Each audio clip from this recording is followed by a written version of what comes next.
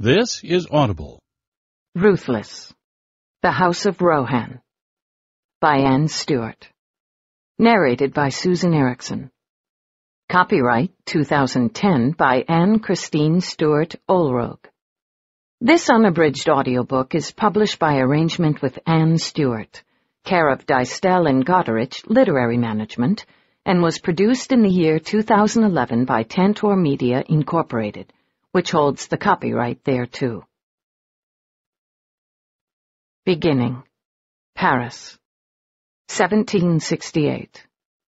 The visit with the lawyer had not gone well. Eleanor Harriman arrived home just as her sister Lydia had finished dealing with their landlord, and she ducked out of sight so the old lecher wouldn't see her. Monsieur Picot had no patience for either her or her mother. But her baby sister was a different matter. All Lydia had to do was let tears fill her limpid blue eyes and make her Cupid's bow mouth tremble, and Monsieur Picot was destroyed, awash with apologies and assurances.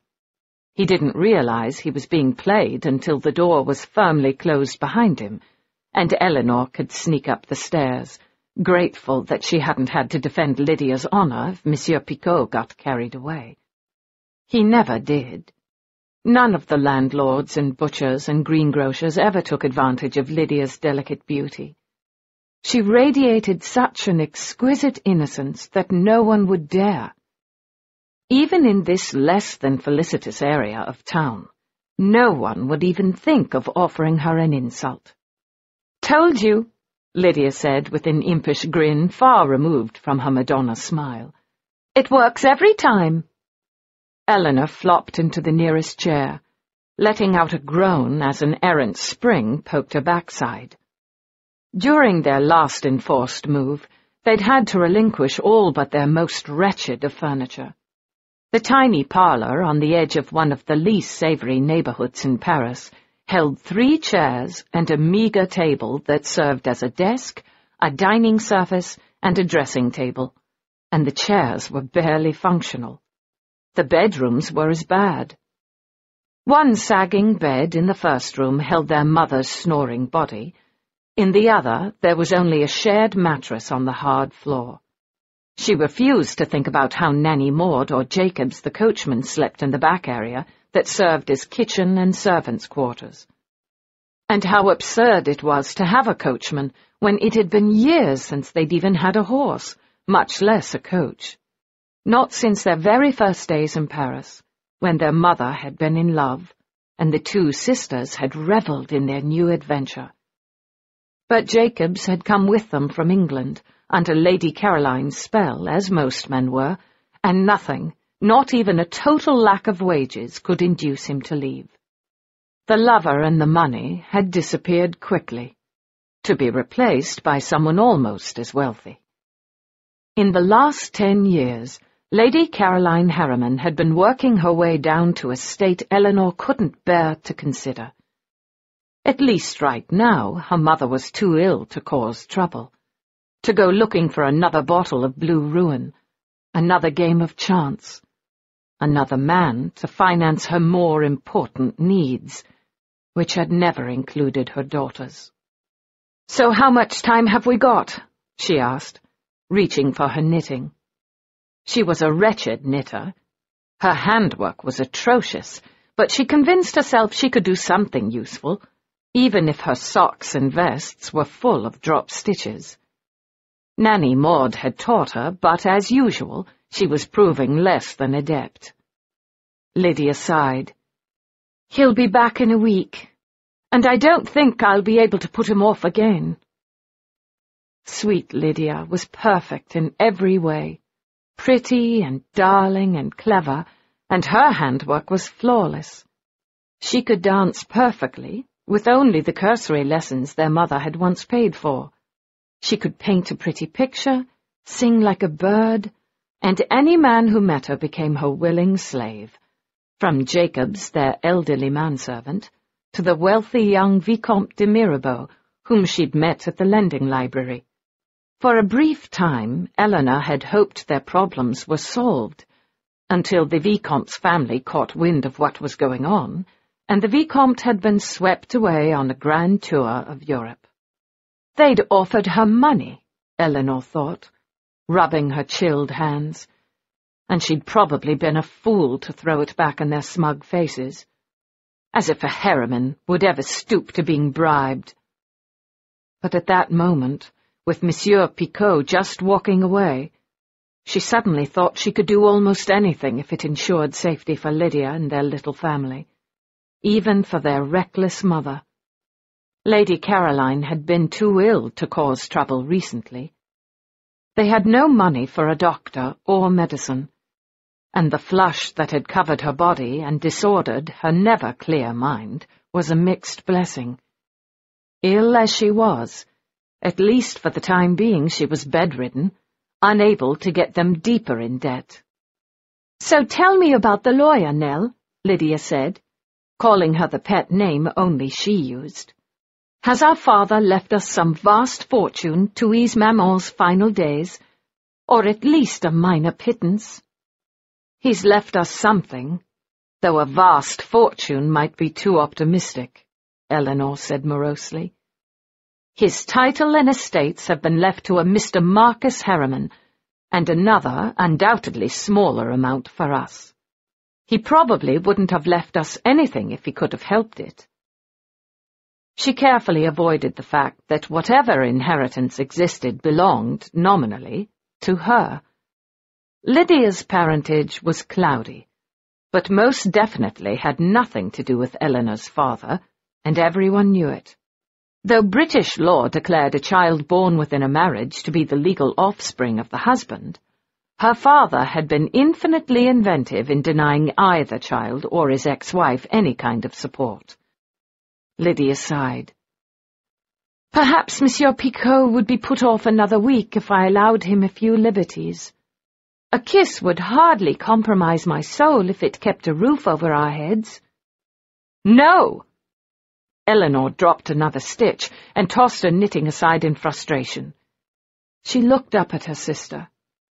The lawyer definitely said our father had left us something, though apparently there was some ridiculous stipulation that I would have to go to England to receive it.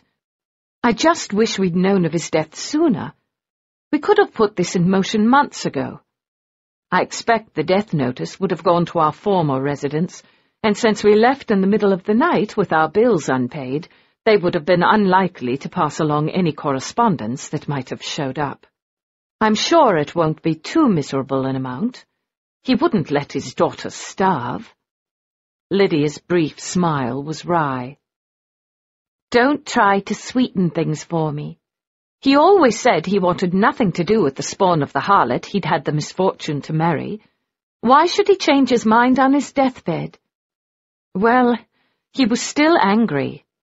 It was only a few years after Mother had left him, and he was the laughing-stock of London. Sooner or later he must remember that we are his blood, and he has some responsibility to us. I thought he claimed we aren't actually his children, didn't he? Eleanor could barely remember their father. He'd been a tall, singularly unpleasant man with little interest in anything but his horses and his women.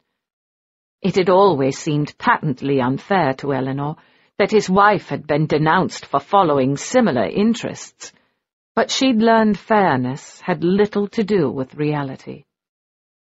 Of course we're his children, she said, at least Lydia had never suspected the truth about her own parentage.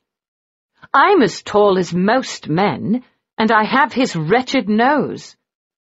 It's a very nice nose, Nell, Lydia said gently. It gives you character, whereas I'm just a pretty little nothing. There are times when I would have given a great deal to be a pretty little nothing, Eleanor said morosely. No, you wouldn't. I don't really think you want to be anyone but yourself, if truth be told, Lydia said.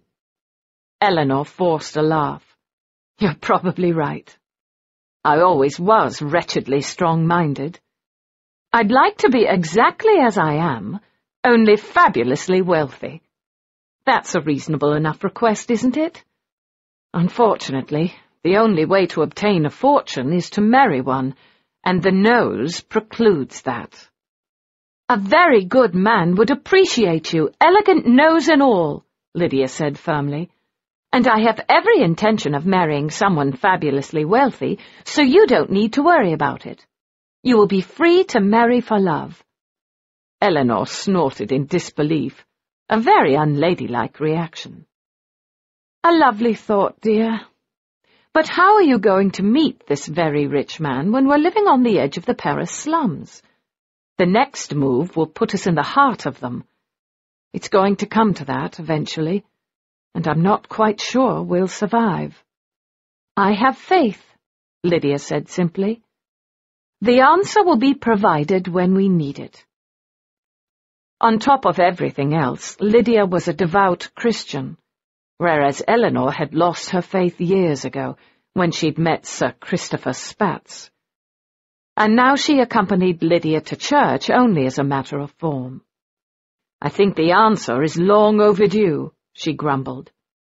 If you could make it hurry up, I'd appreciate it. She heard the commotion coming from the back of the apartment, and Jacobs burst into the room, his hat in his hand, his weathered old face creased with worry, Nanny Maud close behind him. She's gone, miss, he announced. There was never any question who he was talking about. What do you mean, gone? Eleanor said, jumping up. Is she dead? No, Miss Eleanor, Nanny said, her voice thick with worry. Your mother managed to find the last of the money I'd had for food, and she put on a fancy dress and left. Oh, dear God! How did she manage that? I thought she could barely move, Eleanor said, chilled. We can find her, can't we? She can't have gotten far. I almost caught her, miss, Jacob said miserably, crushing his hat with his big, strong hands. I thought I recognized her running down the street, but she got in a coach before I could catch her. A coach? Are you sure it was my mother? I didn't realize she still knew anyone with a coach. It was her, Jacob said grimly, and I recognized the coach. Even in the streetlights I could see the crest. Oh, Lord, Eleanor moaned. What new disaster has she gotten us into? Whose was it? San Philippe. Bloody hell, Eleanor said. Don't look at me like that, Nanny Maud. I know you raised me better, but if any occasion deserved a curse, then this one does. You know who San Philippe's friend is, don't you, Jacobs? I don't, Lydia piped up, her blue eyes shining with curiosity. You don't need to know, Eleanor snapped. It's that devil, isn't it? Nanny said, her voice grim.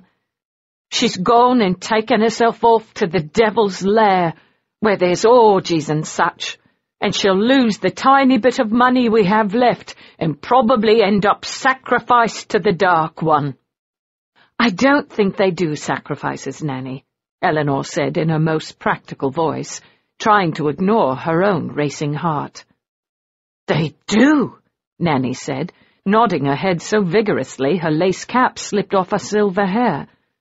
Women go in there and are never seen again. They kill virgins and drink their blood. Well, if it's virgins they killed, then I think our mother's safe, Eleanor drawled, determined to take the terrified look off her sister's face. And I doubt anyone will be so besotted with her that she'll disappear. She'll gamble away the money and then come crawling home, sick and helpless. You don't understand, miss, said Nanny. It's the only money we have left. And she took the diamond brooch. A cold chill ran down the centre of Eleanor's body. It was the last thing of value they owned. A poor piece, with tiny flawed diamonds, that was worth very little, but she'd kept it hidden for an emergency that didn't involve their deliberately self-destructive mother. She straightened her shoulders. Then I'll simply have to go after her. She ignored Nanny's howl of protest. Jacob said nothing. He knew there was no other choice. Lydia rose. I'm going with you, Nell. You certainly are not. If I walk into that den of iniquity, I know I'm safe. They'd be on you like a pack of ravening wolves. I think you overestimate my irresistibility, Lydia said with a grin. And I think you underestimate it. Nanny said they'd drink the blood of virgins, remember? she said, with just enough lightness to allay her sister's fears. Unfortunately, Lydia could see right through her. You're a virgin too, darling, unless you've been keeping something from me. They'll drink your blood too. Eleanor didn't even flinch. They won't be drinking anyone's blood. They thrive on scandal and secrecy, but I suspect they're not nearly as dangerous as they pretend to be, she said in a matter-of-fact voice. They murder babies, Nanny contributed helpfully. Hush, Eleanor said. I'm hardly a baby. Jacobs will take me to the house of the Comte de Giverny, and we will extract our mother and be back before midnight. Begging your pardon, miss, but they were heading out of town, Jacob said. I think they've gone to his chateau. Eleanor remained calm. And how far away is that? Not far, miss. An hour out of town if we hurry. Then we'll be back before dawn, she said. Safe and sound, and this time we'll tie Mother to the bed when we can't watch her. And how do you intend to get there? Lydia said. Last I heard, we had no coach, nor horses, nor money to rent them. Are you intending to walk? Eleanor shared a knowing glance with Jacobs who backed out of the room without another word. Jacobs will handle it, she said smoothly. In the meantime, I'm counting on you to make certain Mother's room is clean and ready for her. We'll probably have to use the restraints we had from the time she was raving. It will depend on how much gin she's drunk, and if she's been fed anything else dangerous. I don't want you going there alone. I'll go with her. Nanny said, bless her elderly heart. She was so crippled with the rheumatics that she could hardly walk, but she'd fight a dragoon of soldiers for her babies. No, Nanny, she said gently. I need you to look after Lydia. She met Nanny's gaze for a moment, and a world of understanding passed between them. If by any bizarre chance Eleanor didn't come back, Lydia would need someone, and Nanny was their only choice. Nanny nodded her head, and Eleanor could see tears shining in her eyes. Don't be ridiculous, you two. I'm not walking into the gates of hell. The Comte de Giverny is just a man who throws decadent parties, not Satan himself, and I'm hardly the type of female to inflame his darker passions. Besides, Jacobs carries a pistol, and he'd shoot the first man who tried to harm me. I'll go in, ask for my mother, and they'll probably be happy enough to get rid of her, so there's nothing to worry about. Except the diamond brooch, Nanny said grimly.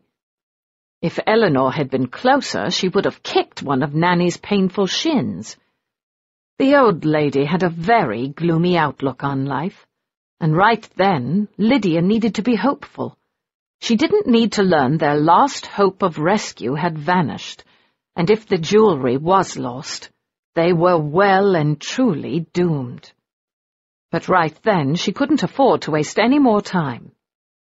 Apart from the orgiastic goings-on at the Comte de Giverny's notorious house parties, there was high-stakes gaming. The brooch would be gone in a matter of moments, and if anyone were fool enough to extend her mother credit, they'd have to start hiding from a better class of creditors, the aristocracy as well as the greengrocers. She grabbed her threadbare cloak and the rough shawl she wore over it for added warmth, kissed Lydia and Nanny Maud goodbye, trying to appear insouciant and brave. Nanny clung to her like it was a final goodbye, but Lydia simply sat back in a chair and calmly took up her knitting again. It was an act, She knew just how dangerous Eleanor's task was, and she knew the best thing she could give her sister was not having to worry about her. The sight of her brave, bowed head of blonde curls made Eleanor want to cry. But she didn't have time for crying. Moments later, she was out in the cold night air. Her fingerless gloves, which were more darning than original weave, were pulled on, the shawl over her ordinary brown hair, and she started down the street, determined to ignore the more unsavory denizens of the neighborhood. Jacobs would be at the nearby cafe, where horses and carriages were stabled. Circumstances had forced them to borrow a carriage once before, when Lady Caroline had proved herself unwelcome at a masked ball though they'd fortunately been able to replace it in time with no one the wiser. Tonight, they might not be near as lucky, but she couldn't afford to think of that. For now all she could concentrate on was getting her mother safely out of the devil's lair. One thing at a time. Jacobs did better than she'd expected. Appearing with a small travelling chaise large enough to hold two females and not much more, she scrambled inside before Jacobs could get down to assist her, and a moment later they were off. It was a cold, moonless night in early February, and if the modest carriage had ever held lap robes, they were long gone. She pulled a shawl from her head and wrapped it around her shoulders, shivering. It would take an hour to reach the Comte's chateau, if she didn't freeze to death before she got there. Still, if she was half frozen, it could only help matters. It would give her something less daunting to concentrate on. She held on to the seat as it swayed back and forth. Jacobs was driving at a dangerous pace, but she had complete faith in his abilities. They would arrive at the chateau in one piece. The rest was up to her. She had no qualms. She knew exactly what she looked like. She was tall, a bit too thin thanks to the state of their larder, with plain brown hair and eyes, and that unfortunate nose. It wasn't that bad, she mused. It was narrow and elegant, and when she was an old lady she would look quite striking. Still, that didn't help when she was young and wanting to be pretty. But she was past all that. If she ran into the wretched Comte, he'd take one look at her dowdy clothes and hair and never even see her. Thankfully, that was the way with most men. She had no doubt she could find her mother in no time at all, spirit her away, and the strange goings-on at the chateau would be a distant memory. If she still believed in God, she would pray. But she'd lost that particular comfort six years ago. Besides, Nanny and Lydia would be praying for them like mad. If there really was a God, he'd certainly listen to the two of them. Lydia was too charming to ignore, and Nanny too fierce. Perhaps it was only Eleanor he paid no attention to. She closed her eyes. The day had been disastrous from beginning to end, with the unlikely hope of a small inheritance being a mere pinprick compared to the far greater disaster of their future prospects having vanished with the succession. For now, she'd hold that knowledge to herself. Nanny Maud and Lydia didn't need the worry. The lawyer, Mr. Mitchum, had suggested she meet with the new heir, the stranger who'd have control over her inheritance, but she'd left the office in a fit of temper. She'd have to meet with a distant cousin eventually, and she'd been a fool to storm off. If there was, in fact, even the most pitiful of bequests, she couldn't be proud enough to refuse it.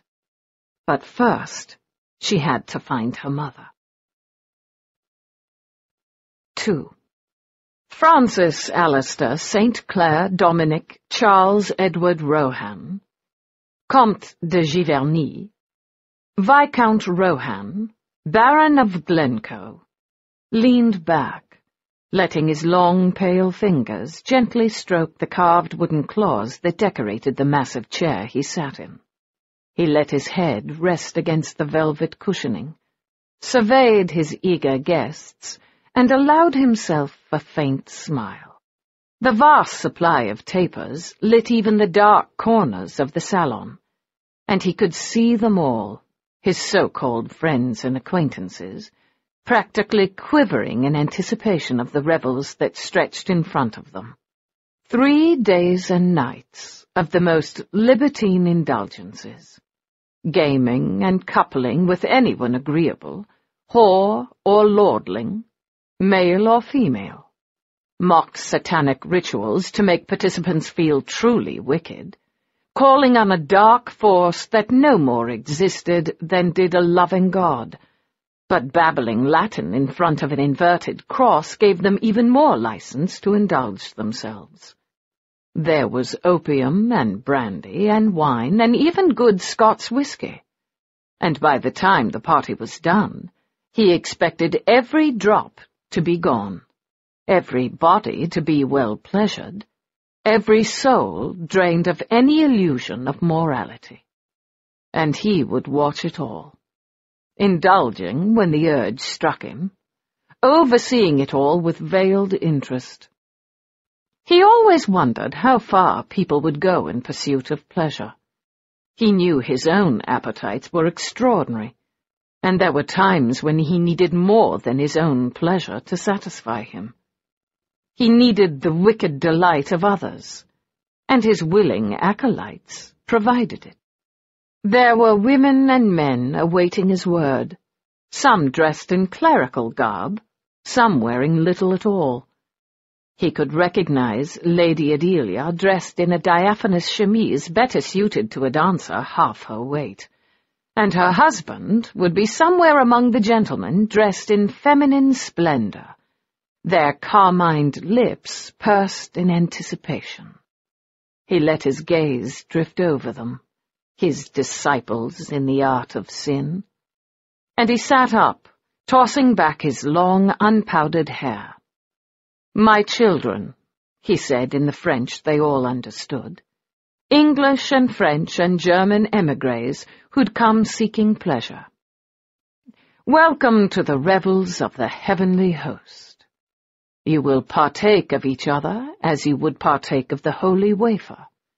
You will drink the wine as if it were the blessed blood, and you will take your fill with no one to judge. For the next three nights the paltry rules of society are forfeit. Our motto stands. Do what thou wilt. Do what thou wilt, they intoned with deep seriousness, like novices taking their final vows and he let a faint smile dance around the mouth they all craved. They were so determined in their pursuit of wickedness that it made him laugh. He waved his hand, the layers of Mechlin lace floating. Then go and sin once more, he said, his deep, rich voice echoing in the huge salon. There was a cheer and the great doors to the rest of the chateau were opened. The revels began, and Francis Rohan leaned back in his chair, wishing he were back in Paris with a glass of brandy and a good book, and no eager sinners seeking his attention.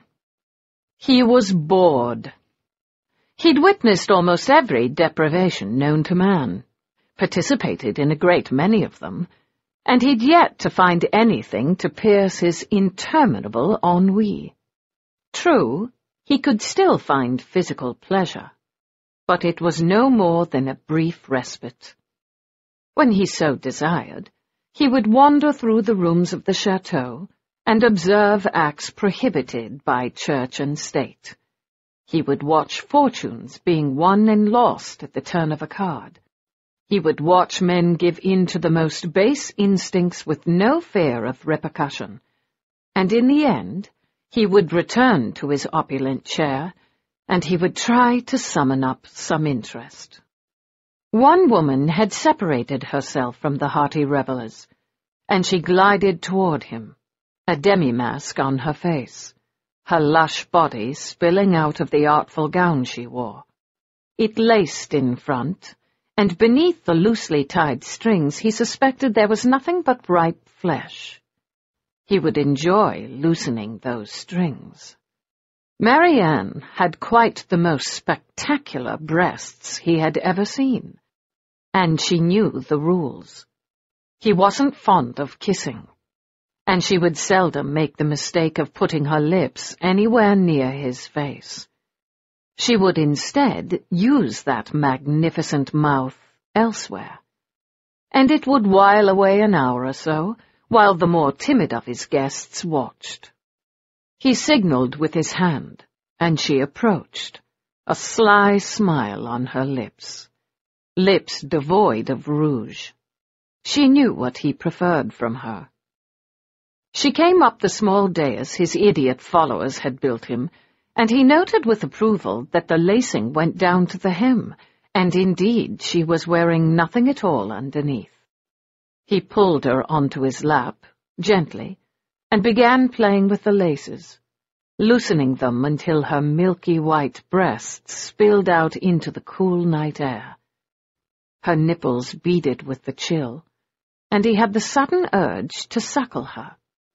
Lean back, he said in his bored voice, and she immediately did so, arching over the arm of the chair, presenting herself to him and he moved his head down to let his tongue graze the pebbled mound, when a sudden noise caught his attention, and he sat up, annoyed, drawing Marianne with him. You've got trouble, Francis, Charles Redding said in his rough, lazy voice. And it's early times for you to be sampling the banquet. Marianne turned and smiled at him, cheerier than Rohan felt at that particular moment. What kind of trouble? he said. I'm not in the mood to be seconding duels or even stopping them. If they want to kill each other, then let them go ahead. I have servants to clean up the blood. Not that kind of trouble. I think you'll like this one. I myself find it rather irresistible. It was enough to get his attention. There was very little Charles Redding found entertaining, and whatever did had to be unusual, and therefore possibly of interest. Then don't keep me waiting. Bring forth the trouble. One of your footmen has her. Willis was going to send her on her way when I intervened, knowing you'd be entertained. Shall I tell him to bring her in? I should go, Marianne said, attempting to pull her gown together over her breasts. He was having none of it. You should stay, he said in the cool voice. He turned to Charles. A her, is it? An interesting her? I find that hard to believe. But by all means bring her in. If nothing else, we can toss her to the gentlemen and ladies in the green room.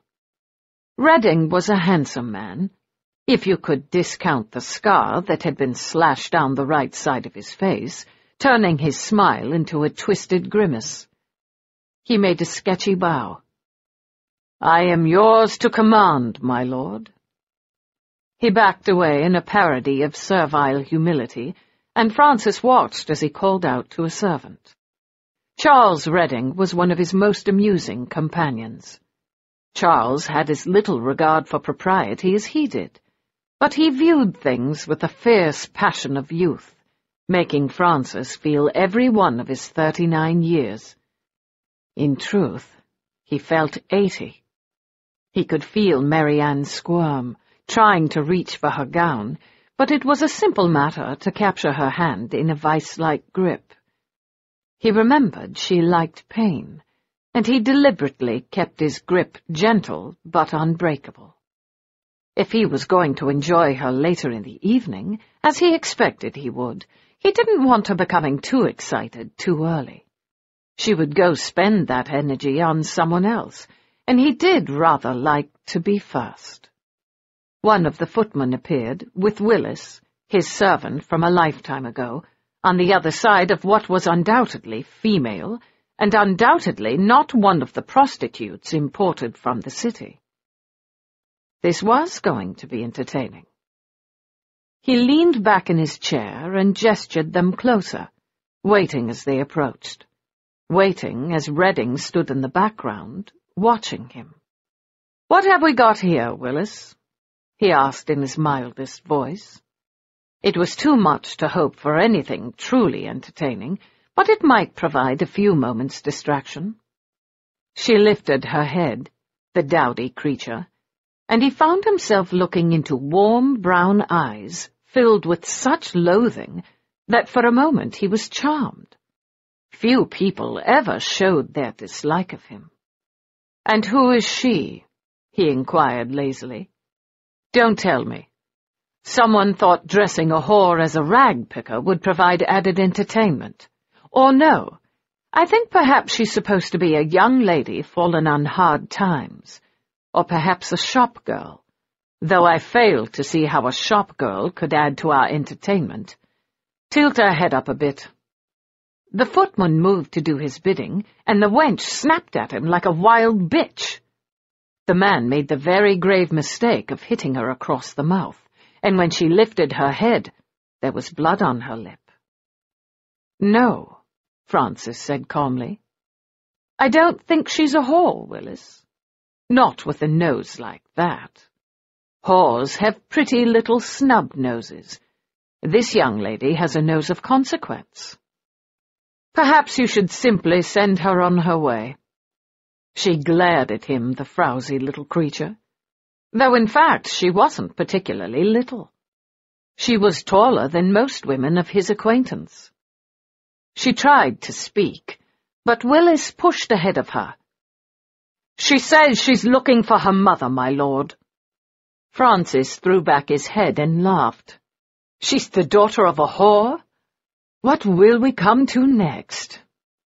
My mother's not a whore, she had the temerity to say, and his interest grew. She had a good voice, solid, low-pitched, and undoubtedly from the upper classes of England. He'd been exiled from that land twenty-two years ago, but he'd entertained enough titled visitors to know the difference. It was the same voice he spoke in, when he cared to speak English. Then she's not here, he said. The only women here are whores. Even lovely Marianne here. Granted, she's a titled whore, but a whore she most definitely is. He waited, hoping that Marianne might pull away, but she sat still in his lap, her breasts in full view of the interloper. The girl, no, the woman, looked at him. She was past her girlhood, perhaps somewhere in her twenties, and her lips still bled. Release her, Willis, he said lazily, and take the footman in hand. I'm afraid he's going to have to be taught a very harsh lesson. No one is struck in this household unless they find it arousing. I can tell that Miss Lumpkin is not aroused. He could hear the footman's alarmed intake of breath, and the fool tried to apologize, tried to explain as Willis hustled him out of the room, another sturdy footman appearing and helping with the disposal of the rubbish. Rohan released Marianne's wrist, and she carelessly pulled her provocative gown together, hiding her treasures. You may leave us, Marianne, he murmured. I find I have better things to do tonight. He paid absolutely no attention as she scrambled away from him. She'd be very angry with him, which might make things more exciting if he decided to avail himself of her later on. At that moment, he was doubting it. The child in the middle of the... Which of us do you think will triumph? he said. She almost mentioned Lydia. Her younger sister would be panicked if she didn't return home. Already she must be half mad with worry. But her younger sister was just the sort of toy these libertines would take and destroy. She needed to make certain they knew nothing about her, and if surviving a night of worry was the price for her sister's safety, then so be it. Never see you again, she said. You're fulfilling my wildest dreams. If those are your wildest dreams, then you need to work on them. Mrs. Clark will be here in a minute. Go get warm. In fact, she was freezing to death. Now that the immediate fear had passed, and there was nothing more she could do to salvage the situation, the warmth seemed to have left her body.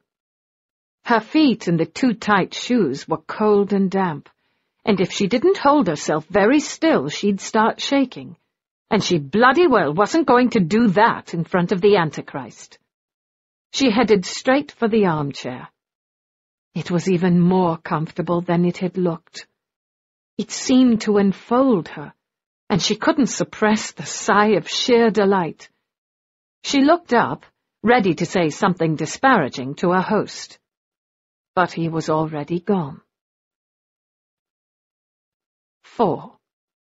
Eleanor leaned back against the chair, finally alone, trying to regain her balance as the world whirled about her.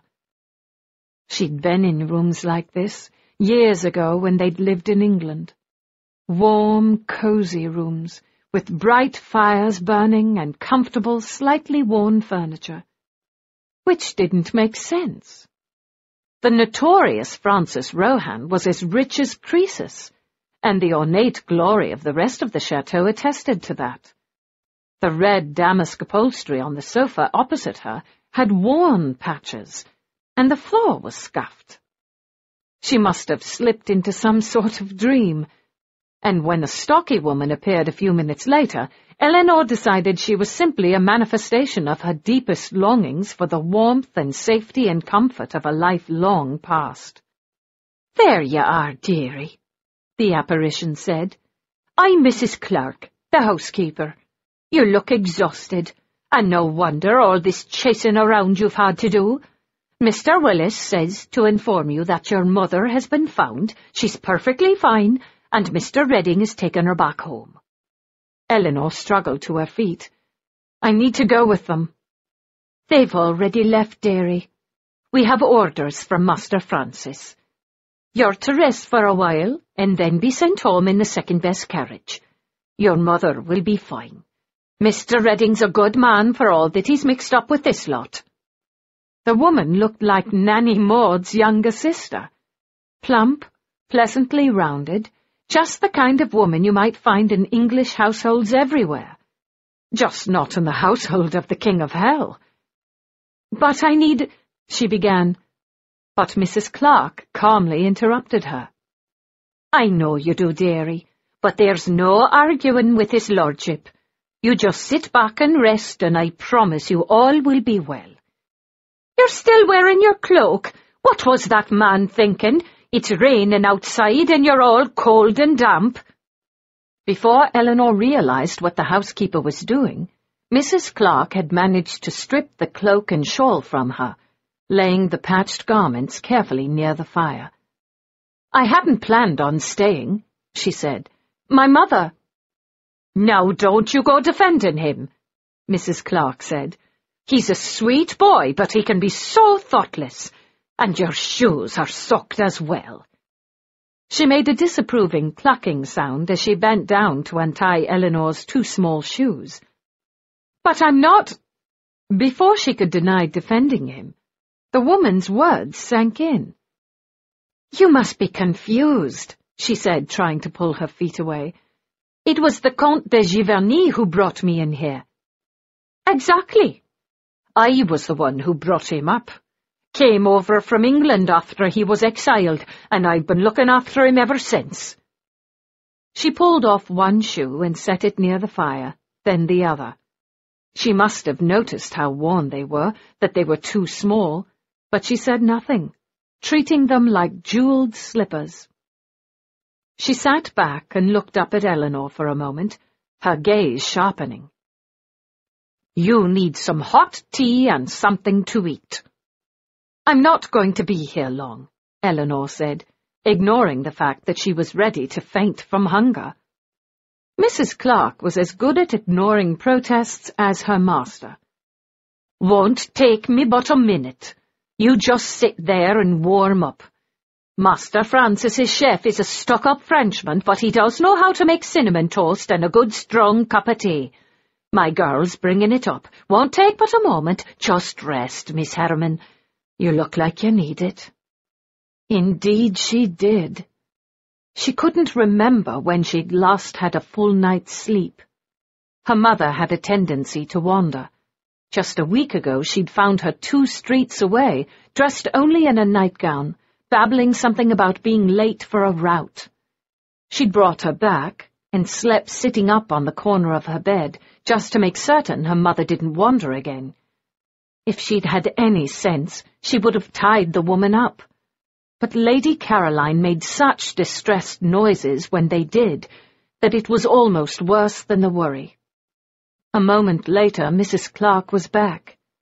There was steam rising from the tray she carried, and she could smell the cinnamon and butter from where she sat. There we are, the housekeeper said cheerfully, setting the tray down beside her on a slightly battered table. All nice and cosy, are we? I'm going to find a throw to put over you. That's a nice enough fire, but you look like you've got yourself a chill. She didn't deny it. She was so cold and disoriented that she wanted to weep. What had happened to her? Had he managed to drug her? There were rumors that he and his band of degenerates did that to unsuspecting young women, but the brief glance she'd had of the half-clothed women parading around the chateau told her that he had no need of a plain, over-tall spinster with a nose. A moment later, a thick cashmere robe was tucked around her, at odds with the shabby furniture. You poor thing, Mrs. Clark said. I'm just going to forget about manners and sit down right beside you. You don't look like you've got enough strength left to pour yourself a decent cup of tea.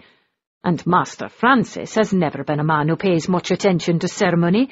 You don't look like you do either. She plopped herself down in the chair beside her, pulled the hand-knitted cosy off the earthenware teapot with capable hands. You're looking at the teapot, aren't you? Mrs. Clark said as she proceeded to pour her a cup of tea with lashings of heavy cream and sugar. I brought that from England when I came here. I thought Master Francis would need something to remind him of home. So young he was, poor boy, to have lost his family, his home, his country. Eleanor wasn't going to ask. She'd heard rumours, but the vagaries of the titled emigre population of Paris had never been of particular interest, and even in the best of times her mother seldom talked to her. Indeed, she said in a non-committal voice. Indeed, Mrs. Clark said cheerfully. You don't want to talk about him, and I can understand that. He's a very bad boy, he is. But he has reason. I cannot think of anything that would excuse his... She was going to say licentiousness, but thought better of it. His behaviour. No, I suppose not. You're too young to remember. She shook herself. We'll get you warm and fed and taken care of and back home right as rain, she said firmly. It took all Eleanor's self-control to keep her mouth shut. Too young to remember what? What reason might he have for an exile that was far from voluntary? Some scandal? But none of it mattered, she reminded herself. This wasn't her world. You look like the kind of girl who's been drinking her tea black, Mrs. Clark continued. But right now I think you need some sustenance. The housekeeper was right. She'd given up sugar and milk more than a year ago, insisting she preferred her tea undiluted. In fact, she preferred her tea just as Mrs. Clark was making it. But of late, it had become more important to ensure that her sister got enough to eat and drink. Any cream and sugar they could afford went to Lydia. The tea was ambrosia, manna from heaven, milk and honey. The biblical terms danced through her foggy brain. It was so wonderful that she would have happily trampled over her sister's delicate body for it. Let me get you another cover, the housekeeper said, rising from her seat. I don't know what's come over me. It's just been so long since I've had a proper young English girl to look after that I let my tongue run away with me. Eleanor struggled to be polite. Don't you miss England? Of course I do, child. But I could never abandon Master Francis, not until he gets past this play-acting foolishness and marries. I believe the heavenly host has been holding their revels for many years, Eleanor said. That much gossip she'd heard. Perhaps you should give up waiting. Foolishness, Mrs. Clark said firmly. Eat your toast, dearie. I'll be back. The thin slivers of cinnamon toast were wonderful. She tried to eat slowly, but she was so famished she devoured them. She really must be in a dream. In a moment, the king of hell would come in and chop off her head or something equally bizarre. It would be worth it. She closed her eyes, the teacup still in her hand. It was old, eggshell-thin china, with myriad tiny cracks in it. Another anomaly. But for a moment she wasn't going to think about it. She was going to keep her eyes closed and let herself drift into this strange, wonderful, magical world, where everything was safe and familiar, where there were no raving mothers, no sisters in need of protection, no servants who needed to be fed, and most of all, no Francis Rohan. She heard the door open, heard the measured footsteps approaching her. Mrs. Clark must have returned. She felt the teacup being taken from her slack fingers, and she knew she should open her mouth, insist on a carriage and a ride home. Lydia was waiting for her. But right then, it was impossible. Two more hours wouldn't make that much difference. She'd sleep for that long and awake refreshed and reasonable, and this magic room would make sense. By the time she got home, her mother would be in a dull, stupefied state, and they wouldn't have to deal with her for a few days at the least. She always slept deeply after one of her sorties, and all Eleanor would have to worry about was what in heaven's name they were going to do next. He took the teacup from her hand and set it down on the small tray. Mrs. Clark was watching him, a suspicious look on her face. She knew him too well. She was the only person who saw him clearly, with all his flaws and vanities and wicked indulgences. Saw him and loved him anyway, like an exasperated parent. In truth, she wasn't that much older than he was. She'd come into service at the age of twelve, and her first task had been the care of the Viscount Rohan's youngest son, Francis. He'd been born a sickly, angry child, prone to noisy displays of temperament, and young Polly Siddons had been saddled with him. But even at age twelve she'd known how to deal with him, and she'd been with him ever since, following him to Paris after the debacle of 1745. When her husband died, She'd simply replaced him with a Frenchman, but she was still Mrs. Clark to all and sundry. His lifeline and his conscience. For all that he listened. And what exactly do you think you're doing with this young lady? she demanded. If you brought her here, you know as well as I do that she's not one of your fancy pieces. She has no place here. True enough, he said and I'll send her home safely, untouched. You've been around me long enough to know that I have no interest in innocence, and she's hardly my style, don't you think? I insist on beauty. In the rest of this god-forsaken place, yes, but these rooms are different, Master Francis. Here you're more likely to value real worth, and I don't like seeing her here. I do, he thought, surprised. Don't worry, Mrs. Clark. I'll be sending her back to a misbegotten family as soon as she awakens. Which looks to be a while. Poor thing was worn out, his housekeeper said. She needs a rest without you harassing her. I'm not going to harass her, he said. I'm simply going to take a nap myself. She'll probably wake up and start beating me with a fire poker, but I'm willing to take that risk. You can go back to bed. She gave him that doubtful look that always made him feel twelve years old, but then she nodded. You behave yourself, Master Francis. The girl's already got too much to deal with. She doesn't need you complicating things. Trust me, he said airily, heading for the settee opposite his sleeping guest. I only intend to make her life simpler. With a disapproving sniff, Mrs. Clark departed, leaving him alone in the room with the sound of the fire crackling in the fireplace, the lash of rain on the windows, her steady breathing as she slept. He kicked off his elegant shoes. The settee wasn't the most comfortable of beds, but it was long enough to hold his frame, and he couldn't ask for much more. He'd slept on it when he was younger, and it had resided in his father's house in Yorkshire, and he'd always found it surprisingly comfortable. He stretched out, his arms behind his head, and stared at her. He could be kind, he could be generous, if he had reason. He had his reputation to consider, but he doubted anyone would know he'd done an act of charity in seeing to Miss Harriman's mother. If anyone heard, They'd assume he had wicked, ulterior motives, and that was good enough for him. This girl before him wasn't a beauty. Her dark brown hair was unremarkable.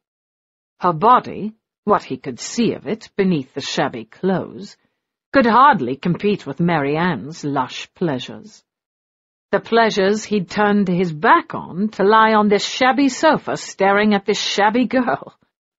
Her face was interesting. She had a smattering of freckles across her cheekbones, something he'd always found irresistible.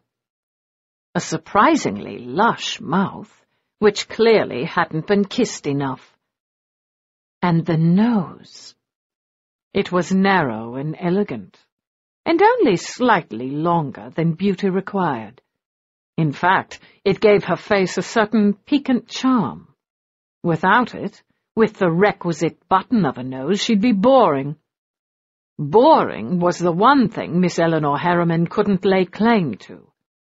She'd stormed into his life, and she was still here, long after she should have disappeared. He could have handed her off to Redding. She would have much preferred accompanying her mother's drunken body back to Paris, but he'd kept her here instead. She was better off this way. Lady Caroline had proven combative, and he'd sent two strong footmen to keep her contained in his travelling carriage, with Redding to oversee the transfer. No, this stern young woman would be better off arriving home after her mother was properly settled. He'd given Redding orders to make certain one of the footmen remained until they were convinced Lady Caroline had returned to her senses. Which was no certainty. He'd been watching when they'd wrestled the woman into the carriage, her curses and her fists flying. The pox had driven her mad, and nothing would change that. The sooner she died, the better for all concerned. He could arrange it, of course, as he lounged on the settee, he considered the possibilities. The wretched hag would have little connection with him, and there'd be no reason for him to be accused of orchestrating her death. Any of the heavenly host who happened to have noticed her presence here tonight would never breathe a word of it, or risk being ousted from their hallowed little group. The police in Paris were fairly lax, but they might pay more attention to the death of a titled émigré. Then again, they might not. They let him do anything he wanted in his mansion in Rue Saint-Honoré, but then no one had died. At least as far as he knew. No, his charitable instincts would be better off curbed for the time being. Wretched as Mademoiselle Eleanor Harriman's life might be, it was hardly his job to fix it. to remove the major obstacle to her happiness. Though the poxy wretch might annoy Redding so much that he stabbed her. Redding was notoriously quick-tempered, rash and impulsive. Perhaps he'd take care of things of his own volition. In the meantime, here he was, ready to sleep with the perfect virgin. He let out a soft laugh. Miss Harriman would hate that, making it all the more delightful. They would sleep together, albeit a chaste three feet apart, and it would annoy her for the rest of her life. And with that he closed his eyes and slept, a smile on his face, malice in his heart. He slept. It was past five in the morning, and Lydia Harriman was already up and dressed, having spent a wretched three hours in bed, tossing and turning before giving up completely. Her mother's disappearance wasn't that unusual. Lady Caroline would vanish for days at a time, and there was nothing they could do about it. But she'd gotten much worse recently.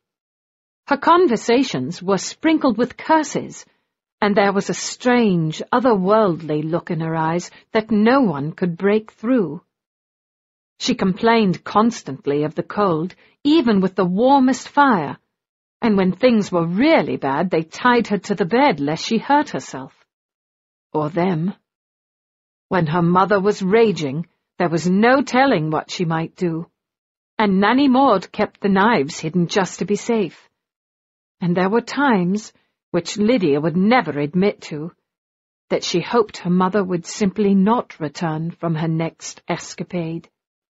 But this time Elinor had disappeared as well. It was an eerie, ice-cold dawn. She'd been careful not to put too much wood on the fire. What little fuel they had must last as long as possible. Elinor tried to shield her from the harsher realities of life, and Lydia had stopped arguing. If it made her elder sister happy to think that she was ignorant of the truly desperate circumstances they were living in, then Lydia could pretend.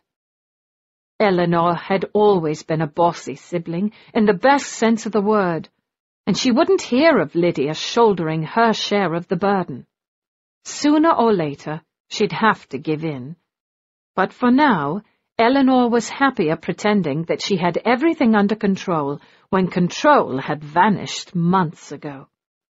She heard the noise in the kitchen, and she jumped up, almost knocking over the chair in her relief. Nanny was already there, in her robe and nightcap, as Jacobs came in. Alone. Where are the others, you old idiot? Nanny Maud demanded before Lydia could speak. The old man hung his head. We followed her ladyship out of the city to the devil's own playground. He turned to Lydia. There was no stopping your sister, miss.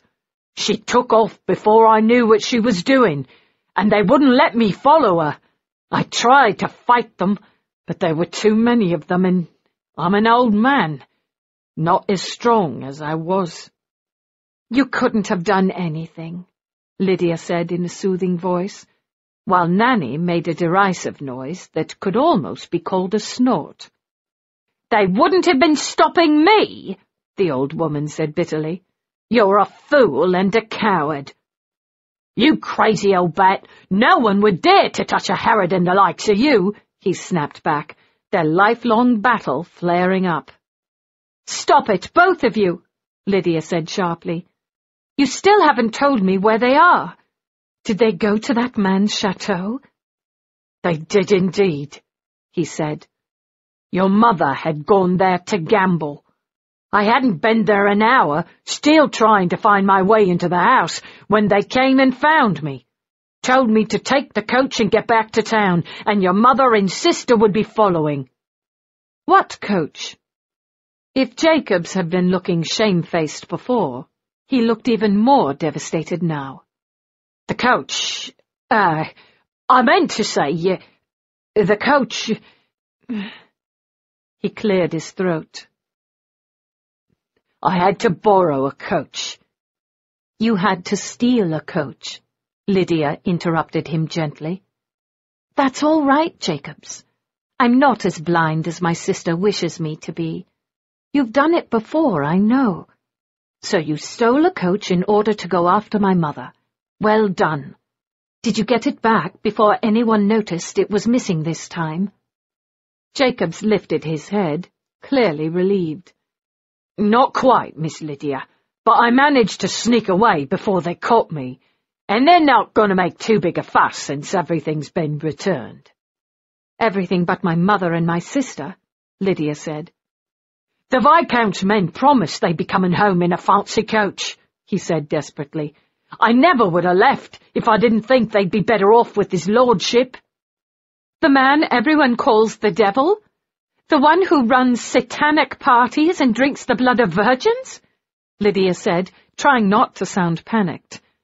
You need to steal another coach, Jacobs. I have to go after her. Miss, it's daylight. I cannot steal a coach in broad daylight. Then I'll walk, she said fiercely. I'm not going to sit by and let my family be... The noise at the front door interrupted her, and she turned around and flew down the hall, flinging open the door with relief. Oh, Nell, I was so worried about you. Her voice trailed off as she realized she was looking at someone a far cry from her sister. He stood in the doorway, silhouetted by the sunrise over the rickety buildings, and she couldn't see his face, even though he doubtless could see hers quite clearly. Not Nell, I'm afraid. He had a deep English voice, and for a moment Lydia was flooded with a host of memories of a life lost long ago. I assume you're her sister? I have your mother in the coach. If you'll show me where I can have my men bring her, I'd be greatly obliged. Yes, of course. It took her a moment to gather her wits. In the front bedroom. She could hear the howls and curses coming from behind the stranger, and her heart sank. Her mother was in one of her full-blown bouts of madness, and Elinor wasn't around. She was better at calming Lady Caroline than any of them. We'll have to see about restraints. I'm not sure where anything is. You needn't be concerned, Miss Harriman, he said smoothly. My men can handle things. He turned and made a gesture behind him, and for a moment she could see his face. It was a handsome face, or it would have been if not for the scar running from eyebrow to mouth on one side, giving him a faintly sinister look, quirking his lips up in a parody of a smile. He was dressed exquisitely, and he doffed his hat to expose unpowdered tawny hair. For a moment she couldn't move. This must be the devil they talked about, and for the first time she could understand the lure. Miss Harriman, he said gently, and she shook herself out of her abstraction. You're very kind, she said, racking her brains for his title. All the ones she could remember were vastly insulting. She backed out of the way, and he followed her into the shabby little house, and she mentally thanked God she was already up and dressed. Nanny was bustling around, clucking like an agitated hen, clutching her robe around her plump frame. He took her arm with the finesse of a prince. Why don't we get out of their way and leave them to take care of things? Your housekeeper can show the footman where to put her.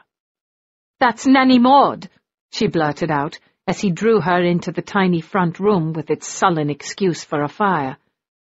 It was a ridiculous thing to say, but she didn't want Nanny relegated to the role of servant when she was so much more. He smiled, the move jerking his smile up so that he looked even more ruthless. Nanny's got things well in hand, he said smoothly. And I've been remiss. I haven't introduced myself. I know who you are, my lord, she said. Finally his name came to her. You're the Comte de Giverny. She was determined not to show any fear. Apparently, you consort with the devil, have orgies, and drink the blood of virgins. According to gossip, you're sin itself.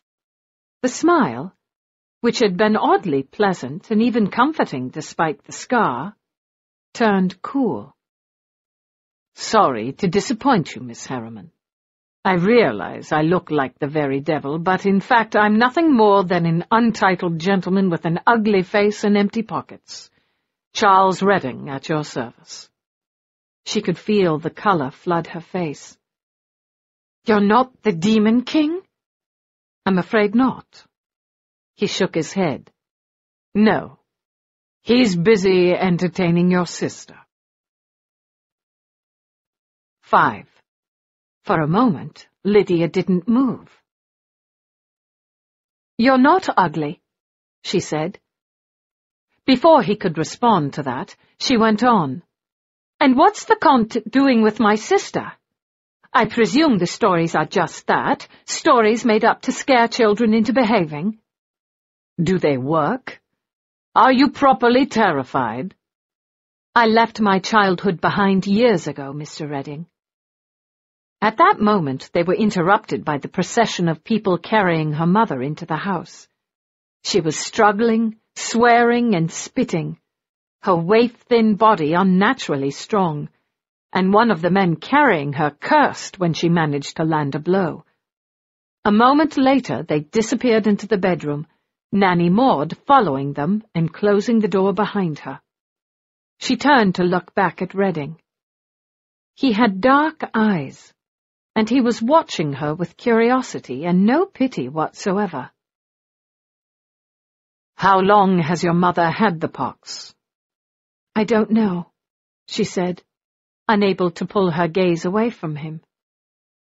For a penniless gentleman he was quite elegant, from his high cheekbones to the glossy boots he wore.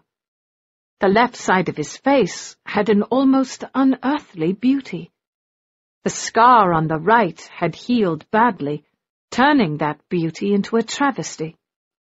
A duel, he said. She blinked. I beg your pardon? You're wondering what caused the scar. Don't be embarrassed. It's what everyone thinks when they see me. I'm not embarrassed, because, in fact, I wasn't thinking about that at all. I was worried about my sister. I stand humbled and corrected. Though, in fact, I'd prefer not to stand. I had no intention of riding in the coach with your mother, casting up her accounts all over the place, so I rode and I'm quite tired. However, I can't sit down until you invite me to do so and sit down yourself, and since you don't seem about to, I thought I might offer a little hint. Please sit, she said, rattled, taking the small hard chair and leaving the more comfortable one near the fire for him. He shook his head. Not likely. Change seats and I will. I'm fine where I am. Before she realized what he was doing, he tossed his hat onto the small table, clamped his gloved hands on her arms, and lifted her, dropping her into the seat by the fire as if she weighed no more than a bird. He must have thought as much. He frowned. Have you been eating properly? She thought about the thin soup Nanny had managed to stretch for the week with the careful addition of more and more water, and her stomach knotted. Of course, she said. Because you don't weigh more than a child. How many children are you in the habit of picking up, Mr. Redding? she responded. Oh, I forgot. The devil sacrifices babies, does he not? He doesn't, he stopped protesting. You're teasing me, are you, Miss Harriman? Just a little bit, she allowed. I shouldn't. Things are hardly humorous right now. But since I've seen the difference between gossip and reality firsthand, I have little doubt that the Comte de Giverny is nothing more than a self-indulgent hedonist. He took the seat across from her, and she held her breath afraid it might not hold his firmly muscled weight. It creaked, but survived, at least for the moment. As is his best friend, he said, his voice less than reassuring. Really? she said, her voice bright. I've never seen a self-indulgent hedonist before. I have to say I'm a bit disappointed. You don't look very dissipated to me. Maybe you haven't been at it for a terribly long time. Long enough, he said beneath his breath. There wasn't much he could say to that. Could you tell me where my sister is? Why didn't she return with you? Again, there's the problem of the carriage. Oh dear, I forgot. Your poor carriage. We can't afford to have it cleaned, but Jacobs and I can see to it. It's not my carriage, and Rohan has more than enough servants to deal with it. More than enough carriages, for that matter. Rohan? she echoed. The King of Hell, the Comte de Giverny, the Viscount Rohan, he clarified. The man who has my sister. He'll return her safe and unharmed. Francis doesn't waste time with innocents. Unless your sister's shabby clothes and stern manner hide a lurid background. It shouldn't have bothered her but she pulled a shawl closer around her shoulders, hiding some of her own shabbiness. Her only clothes were those passed down from Elinor, one stage closer to the rag bag, something this exquisitely attired gentleman had no doubt noted and inwardly mocked. I'm afraid we're living in straitened circumstances, Mr. Redding, she said, lifting her head. We're awaiting word from our father who will doubtless come to our aid, but in the meantime there is no denying that our fortunes have suffered of late. He said nothing more than, Indeed. I get the uneasy suspicion that you're holding something back, Mr. Redding, she said. Or were you simply going to cast more aspersions on my threadbare wardrobe? I'm afraid you're so pretty that I hadn't even noticed your wardrobe, Miss Harriman. Your sister doesn't have the advantage of your beauty. If that's supposed to make me feel better, it's failed, she said, finally getting angry. My sister is very striking, and only shallow gentlemen would fail to realize that. I'm very shallow, Miss Harriman. You enchant me. Your sister terrifies me. Good, she said, then realized how it sounded. I mean good that my sister terrifies you, and I would certainly wish that I could do the same. He looked at her. In fact, you do terrify me, Miss Harriman, for quite different reasons. I can't imagine why. His twisted smile was far from reassuring. I think you would prefer I not mention it to you, he murmured. I don't understand. You don't need to. I believe I should make certain your mother is settled. He rose, and he suddenly seemed a great deal more alarming. He took her hand, so small in his large one, and pulled her to her feet with such strength that she practically flew into his arms, only her presence of mind and his quick thinking preventing such an absolute disaster. He lifted her hand to his mouth, that twisted, scarred mouth, and kissed it, leaving her to stare after him, momentarily distracted.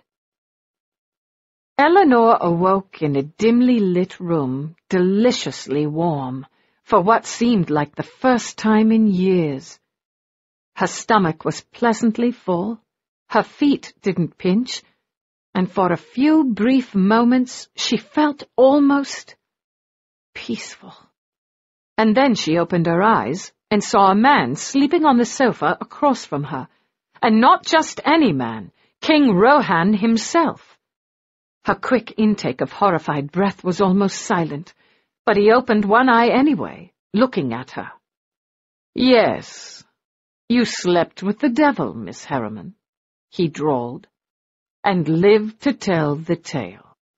She sat up, shoving down the cover that someone had thoughtfully draped over her, then realized her shawl was gone as well, and during her sleep, the threadbare bodice of her ancient dress had shredded just a little bit more, exposing too much of her chest.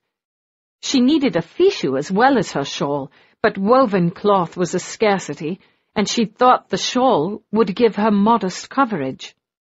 She was wrong. She started to yank the cover back up, but he was closer than she realized, and his indolent pose was clearly just that, a pose.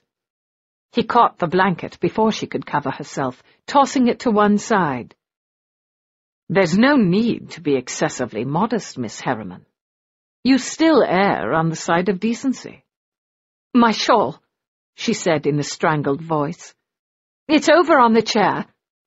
He glanced that way. Is it? And why would you assume I'd be interested in waiting on you? Particularly when I don't wish to have you cover up your surprisingly delightful charms. She started to get up, feeling desperate, and he simply pushed her back in the chair again. All right, if you're going to be tiresome, he said, moving over to her discarded clothing and fetching her thin shawl. She could see the light through it, but it was better coverage than what she was wearing, and she snatched it from his hand, wrapping it around her shoulders and waist so that it stayed firmly in place. That's better, she said, breathing a sigh of relief. Terrible. And it doesn't change the fact that you spent the night sleeping with me. Don't be ridiculous. I had no idea you were there and I'm not quite certain why you chose to fall asleep on such an uncomfortable piece of furniture. You're in the midst of hosting an orgy. Shouldn't you have been frolicking with courtesans? It's a three-day revel, child. I seldom frolic until the second night.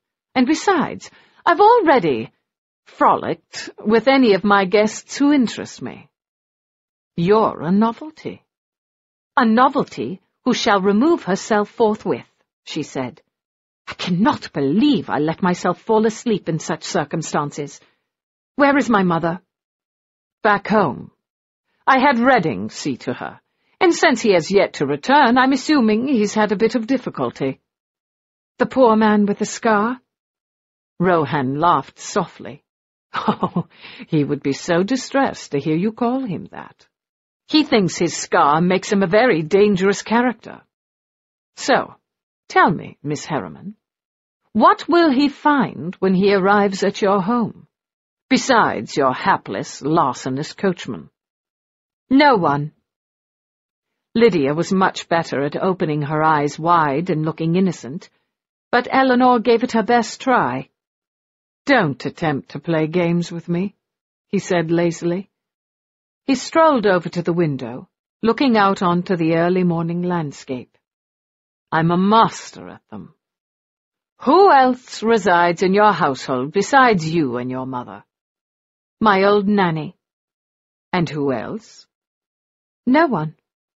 He turned his head. You're not an adept liar, Miss Harriman. If I remember correctly, Lady Caroline Harriman had two daughters. My sister died. A faint smile touched his mouth. If you're going to continue lying, you really need to do a better job of it, my pet. I'm certain I could find someone to teach you the fine points. It's a useful skill. I'm not lying. She glanced toward the door.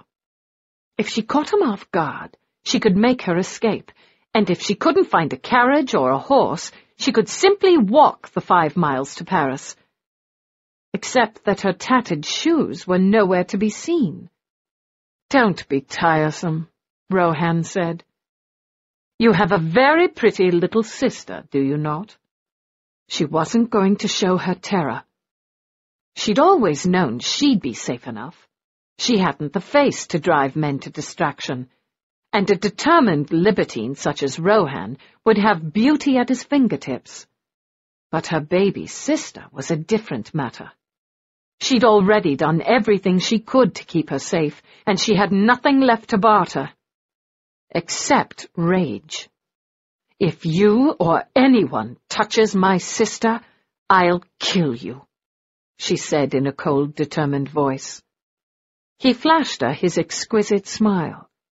Now that was said with real conviction. Your sister must be quite extraordinarily pretty. My sister is none of your business. She quickly came up with a more believable lie. As soon as my father arranges it, we'll return to England and she'll be happily married. You expect your father to arrange a marriage for her? he asked, leaning against the wall of the study. He still wore his long silken waistcoat, unbuttoned, and during the night his white shirt had opened even more, exposing his chest. Women weren't meant to see men's bare chests, and for the first time she could understand why. There was something deliberately enticing about that expanse of flesh, and it could lead a girl to sinful thoughts. Not that she was a girl, and she was impervious to sinful thoughts. She won't have an arranged marriage, she snapped. I intend to make certain she marries for love. His look of astonishment wasn't feigned. My dear child, he said softly, you cannot tell me you still believe in the existence of love. Not after the life you've been forced to live. My life has been just fine, she said coolly. And I'm not thinking for myself, but for Lydia, absolutely. It's no less than she deserves. And why don't you deserve it? She didn't flush. She'd trained herself not to show any reaction, and she was a far better liar than he gave her credit for. I have no interest in it. Lydia's a different matter. As soon as our father... You know as well as I do that your father is dead. The new Baron Tolliver is in town, looking to make your acquaintance. She kept her expression calm, her hands gripping her skirts out of sight. How do you know that? I am kept abreast of everything that goes on in emigre society, Poppet. Lord Jasper Harriman died of an apoplexy several months ago, and the heir who has taken his place is now in Paris. He's yet to make my acquaintance, though I assure you that time will come if he stays here long enough. I doubt there's any rescue coming from that direction. She wasn't going to let him get to her. Then Lydia will simply have to marry a handsome, kind, wealthy Frenchman, she said calmly. He moved away. And what will happen to you and your mother? If your sister is as pretty as I suspect she is, from your fiercely protective mien, then a good marriage isn't out of the question. A deranged belle-mère and a sister-in-law are less appealing. She flushed, knowing he spoke nothing but the truth. We both know that my mother won't live for much longer, she said. As for me, I am perfectly capable of being independent. I can become a governess. I can teach English and the pianoforte. Or I could obtain a position as companion to an older lady. Not once she discovers you spent the night with me. She rose. Huddling in the chair was a sign of weakness, and standing he still towered over her not inconsiderable height, but sitting gave him an even greater advantage. There's no reason that would happen. You have nothing to gain by spreading such vile rumors.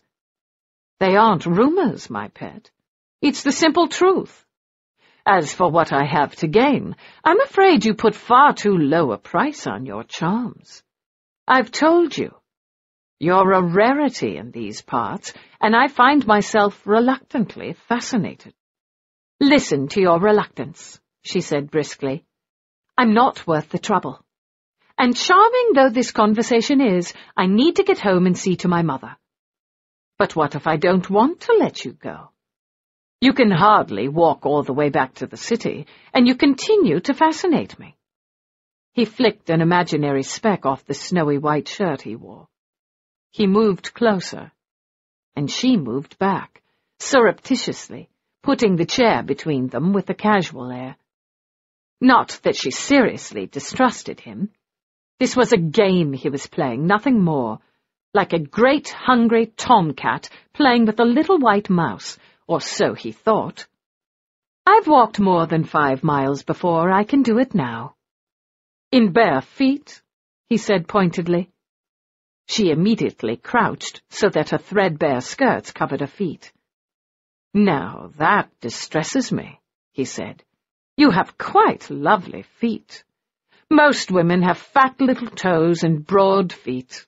And dancers, God help me, they have the ugliest feet of all. But you really have exquisite. I would appreciate it if you would stop rhapsodizing over my anatomy and summon a carriage, she said, mortified. He might well have been talking about her breasts, and she wondered what else he'd been observing in such a familiar manner.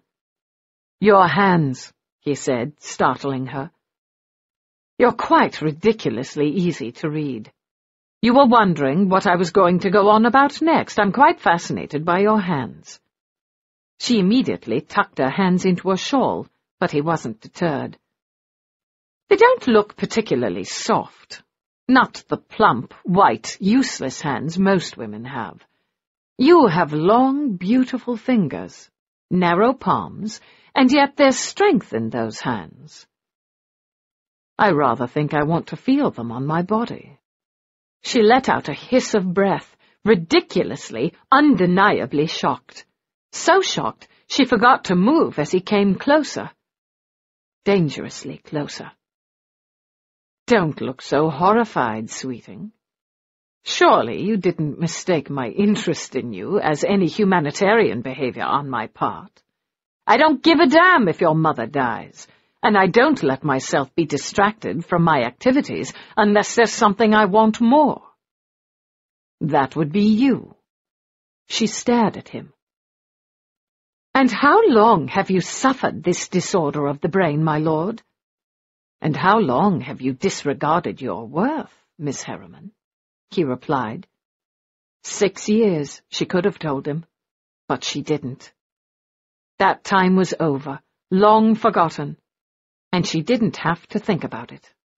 He was playing a game with her. He'd already admitted he was very good at games, and she'd seen the women who surrounded him.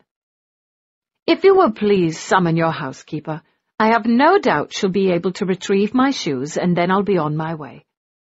Her manner was brisk and practical, the perfect counterpoint to his absurdly seductive manner. To prove her point, she rose to a full height again, exposing her bare feet. Miss Harriman, are you possibly so unwise as to call my bluff? he asked, his voice silken. Certainly not, Monsieur le Comte. I simply choose not to play this little game of yours. There was a bell pull by the door, and she crossed the room and yanked it. She half expected him to come after her, to catch her hand as she reached for the bell pull, to pull her into his arms tight against his body as he had last night. He took one step toward her, and then halted his self-deprecating smile back in place as he dropped back down on the settee. So be it. He waved one pale hand in her direction. Mrs. Clark will see you to the carriage. The door opened as he spoke. Mrs. Clark will do no such thing, that lady pronounced. You will get up and take this young woman home like the gentleman you once were. Elinor expected to see him explode. Instead, he merely leaned back with a sigh of acquiescence. Call me when the carriage is ready. This is no way to entertain a young lady, Master Francis, Mrs. Clark said in a scolding voice. Then remove her, he said in a bored voice. Master Francis? Mrs. Clark's comfortable Scots voice held a note of warning and he opened his eyes again. Why I ever brought you with me to France is a matter beyond my comprehension, he said wearily, sitting back up. You didn't bring me. We followed you against your express orders, which should make it clear that I'm going to do what I think is right, at least in my part of the house, and anyone you bring here will have to be treated respectfully. Yes, Mrs. Clark he said in a mockingly subdued voice. You will allow me to change before I escort the young lady home, won't you? I have standards I need to uphold, and for that matter, she seems to be in need of shoes. I have them with me, sir, Mrs. Clark said, perfectly obsequious now that she'd gotten her way. Go ahead and change, we'll be waiting for you. We? If you're going, then there's no need for me. I'm not going, Master Francis. You know I have a grave aversion to Paris. I'll merely be keeping the young lady company until you change your clothes. And it would behoove you to hurry. The longer we're together, the more things I could tell her. She expected Rohan to look more than a little disgruntled, but he simply laughed. I doubt anything you tell her would surprise her. She already knows I'm a total wastrel. If you take too long, I'll be telling her all the good things I know of you. Good God, he said in tones of absolute horror. I'll be quick as the devil. He'd reached the door, then stopped for a moment, looking back at Elinor, staring at her. Master Francis, Mrs. Clark said in a warning tone. I just wanted to take a last glance at her exquisite feet before you covered them up again. It might be a while before I see them again. It will be never, Elinor said, crossing her arms over her chest. Don't count on it, my pet. Whatever scurrilous lies Mrs. Clark spreads about my so-called goodness, she'll have to admit that I always get what I want. And before she could say another word, he vanished, closing the door quietly behind him. 6. There's really no need for him to accompany me, Elinor said hurriedly, suddenly able to breathe again.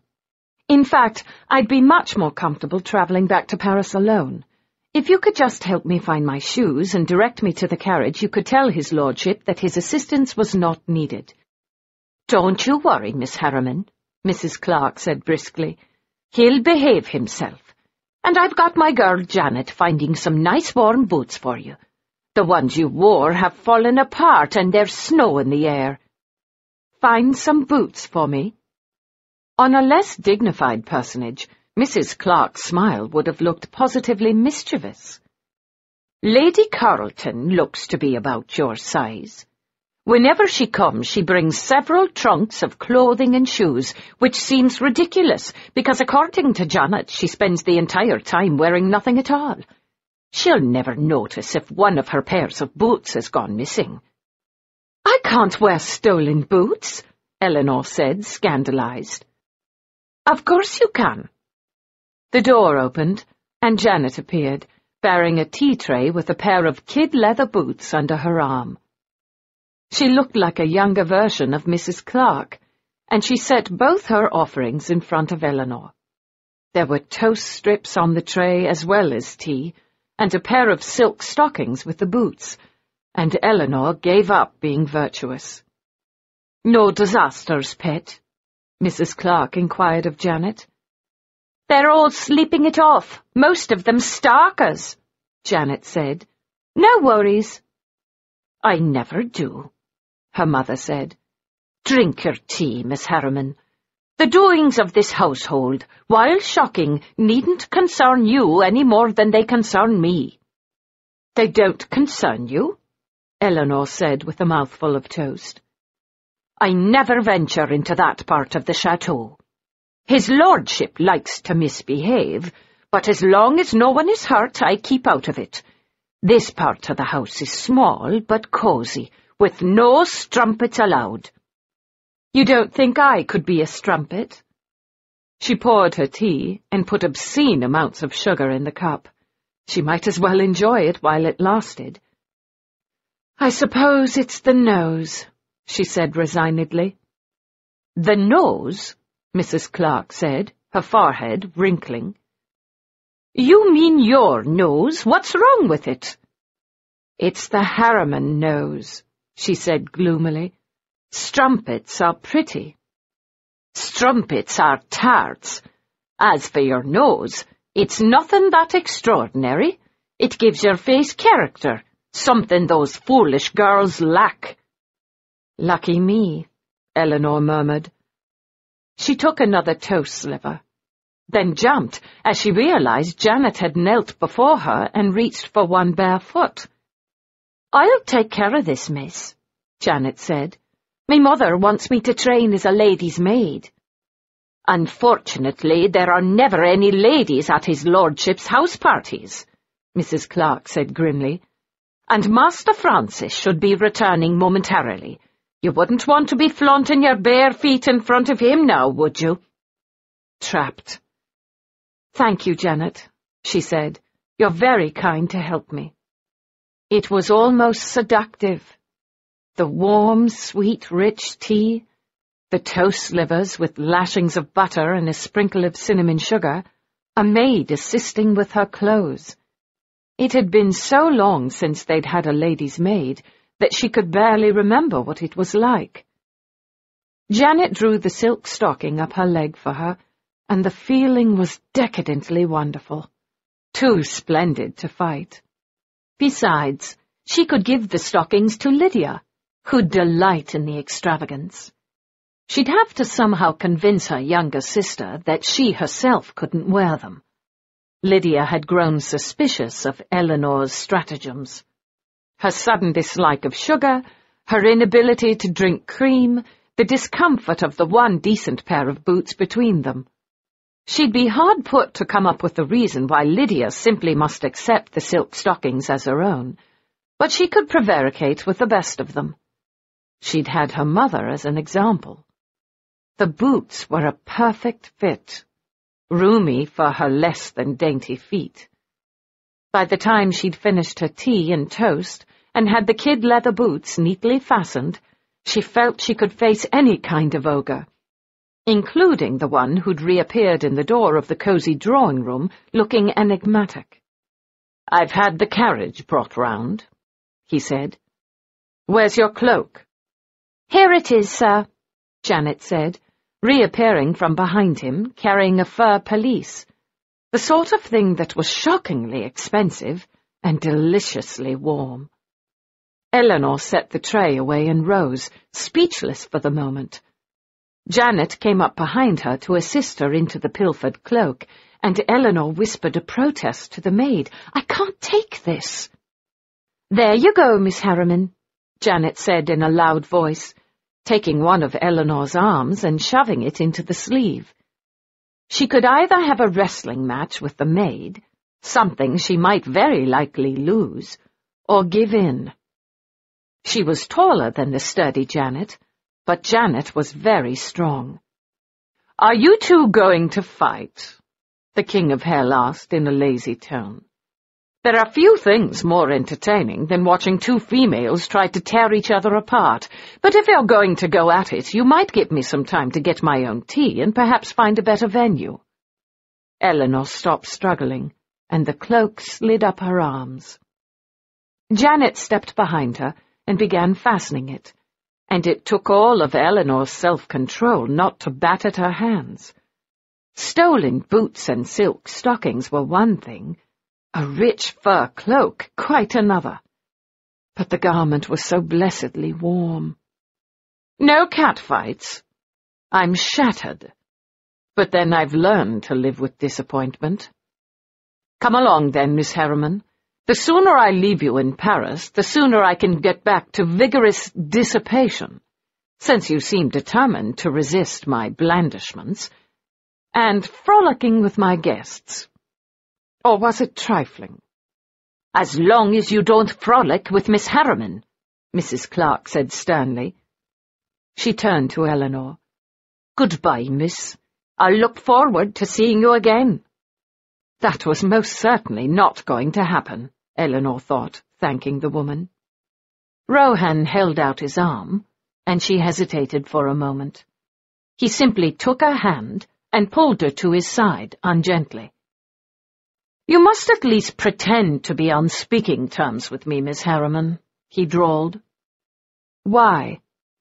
He simply glanced down at her. It was an unnerving experience. She was so very much taller than most of the men, particularly the French ones, that having to look up into those hard, merciless blue eyes only added to the sense of unreality.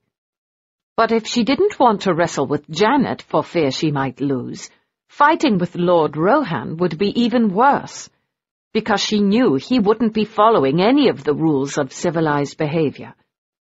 There was a light snow falling when they stepped outside the massive front portico of the chateau, and Elinor drew the stolen fur cloak closer around her, trying to ignore her guilt. The liveried footman immediately opened the coach door for her, and she pulled away from Rohan and scrambled up before he could assist her. He'd barely touched her, but she didn't trust those large, beautiful hands. A moment later, he was inside as well, dwarfing the spacious interior, and they were on their way. It had been so very long since she'd been in such an elegant coach. Perhaps never. Her father had been wealthy, but not on the scale of Rohan, and he had never sent his young daughters out in his best carriage. She tucked her hands in the folds of the pelisse, lifting her eyes to look at her reluctant companion. Stretched out on the seat, perfectly comfortable, he was eyeing her with calm curiosity. You should have had Mrs. Clark steal you some warm gloves and a bonnet while she was at it, he said. Lady Carlton would never miss them. She'd been warm enough before, but the heat that flushed her face was uncomfortable, and she immediately reached up to unfasten the cloak. One look at his face stopped her. You really don't want to get into a wrestling match with me now, do you, my sweet? His voice was amused. I'd like nothing more than an excuse to put my hands on you in the privacy of the carriage. It's a long, cold drive into Paris, and I can think of any number of things that would make the time pass more quickly, all of which involve touching you. Lady Carlton has a dozen fur cloaks, and your shabby cloak was probably infested with vermin. It was not, she said, incensed. If you say so. His eyes narrowed, and he yawned. I assume you aren't interested in, uh, frolicking with me? No. Trifling? We've already been flirting. We have not, she said aghast. Oh, yes, child. We most certainly have, even if you don't recognize it. Why don't we simply dispense with all the pleasantries and descend into hot, nasty fornication? For perhaps the first time in her life, Elinor was at a loss for words. And in the end, only the most foolish ones escaped her mouth. In a carriage? He laughed. Oh, most definitely in a carriage. Though if you prefer a bed, we can always return to the chateau, though we'd have to avoid Mrs. Clark's evil eye. His words were shocking, disturbing. No doubt meant to be, she realized. He had no more amatory interest in her than he had in Mrs. Clark, but if she charged him with it, he doubtless strived to prove her wrong. She managed to meet his dark, wicked gaze with a deceptive calm. You promised her you'd behave with propriety. Such promises, had I made them, would have been hollow, but in fact I did no such thing. Mrs. Clark has known me for decades, Miss Harriman. She has no illusions about my true nature. She simply never gives up hope. His eyes narrowed. Are you really so inured to temptation? I've managed to seduce nuns and sapphists, and I'm unused to having my attempts ignored. Curiosity got the better of her. Sapphists? Women who prefer the love of other women, child. Her brow wrinkled. How? Allow me to explain. He moved to her side of the carriage before she realized what he was doing. She tried to leap to the other side, but he managed to catch hold of her, one arm tight around her waist, keeping her beside him. She glared up at him. You seem to have spent a great deal of time mishandling me, my lord, and I don't like it. Take your hands off me. Then don't fight me. I'm just trying to improve your education. He took one of her hands in his gloved one. It was pathetic, small and rough beneath the patched fingerless glove. He stripped it off and sent it sailing to the other side of the coach. I'm surprised that Mrs. Clark didn't come racing after us with a pair of gloves for you. It wasn't my idea. Of course it wasn't, my pet, he said soothingly. Mrs. Clark is a hard woman to argue with. No, just settle back, and I will proceed with your education. I don't... Hush, he said softly, putting one gloved fingertip up against her mouth. This isn't going to hurt. The soft leather that shielded his flesh from hers should have made his touch less intimate. Unfortunately, everything he did and said was intimate. He held her hand in his, his thumb rubbing against the center of her palm. It had a curiously calming effect. Now, I assume you understand the mechanics of male and female coupling. Most properly brought-up young virgins would be totally ignorant, but your upbringing leaves much to be desired. You know what men and women do, and how their parts fit together with such splendid neatness. She wouldn't have called it that, she thought, biting her lip. Of course, she said in a cold voice. She didn't bother trying to pull her hand away. It would have been a waste of energy. He was so much stronger than she was, and she couldn't believe he intended to hurt her. Women, of course, are unequipped with the necessary equipment to complete the act of love, so they employ alternatives. Some use equipment they can strap on that makes them appear masculine. Elinor squirmed on the seat. Others use their mouths, as men and women do with each other. I imagine you've seen something of that, living as you have. Yes, she said in a strangled voice. But the simplest thing, particularly in a semi-public occasion, is to use their hands upon each other. He was still stroking her palm, and then his fingers moved up, carefully curling all but her two middle fingers down. You know about this, don't you, my pet? How to pleasure yourself? She didn't, couldn't say a word. The thought of willingly engaging in anything that resembled coupling, even on one's own, seemed the height of madness. No, he whispered, moving her hand down. This is how it's done. And he put her hand between her legs. She fought him then, shocked, but her efforts made her legs part, and he moved her hand closer to the center of her, holding her fingers steady. You touch, he whispered, just lightly at first, delicately, like a butterfly. Pleasure can't be forced, it must be coaxed. He pushed her hand a little farther into her skirts, so that her fingertips touched that center core of herself, and she felt an odd shiver of reaction, one that frightened her. Please, don't, she protested, but he simply ignored her. Now, my love, you mustn't be shy, he whispered in admonishment. If you knew how to do this by yourself, I'd leave you alone. Trust me, you'll thank me once you master the trick of it. It makes many a long night more engaging, and it will help if you decide to turn to women for comfort.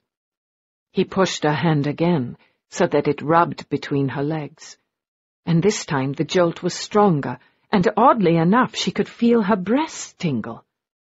Again he pushed, and it seemed to have nothing to do with her.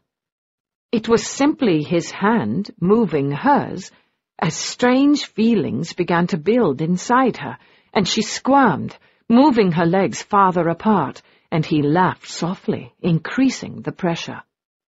After a while you can be more forceful he whispered against the side of her neck. What first you wooed must now be mastered, or it might escape completely, leaving you restless and distraught. He pushed harder, much harder, and she made a small whimpering noise, not of pain. Just as you feel it will never happen, The first blush of pleasure sweeps over you. She had stopped thinking as a small, exquisite jolt stirred her body. And then you push it farther. His mouth was hot against her skin, and deeper. She could feel something dark and terrible approaching, and she tried to pull back in sudden fear, and you don't let anything stop you.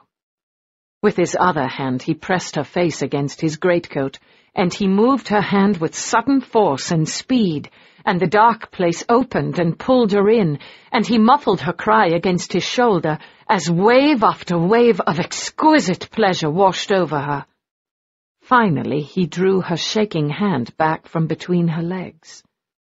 He brought it to his mouth and kissed it, then put it on her lap.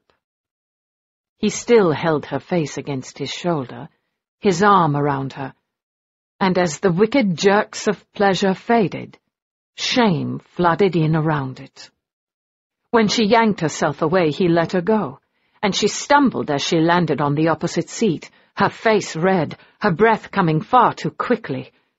You animal, she said in low fury. How dare you? How dare I what, my precious? he said in an entirely equable tone of voice. I did nothing. It was your hand.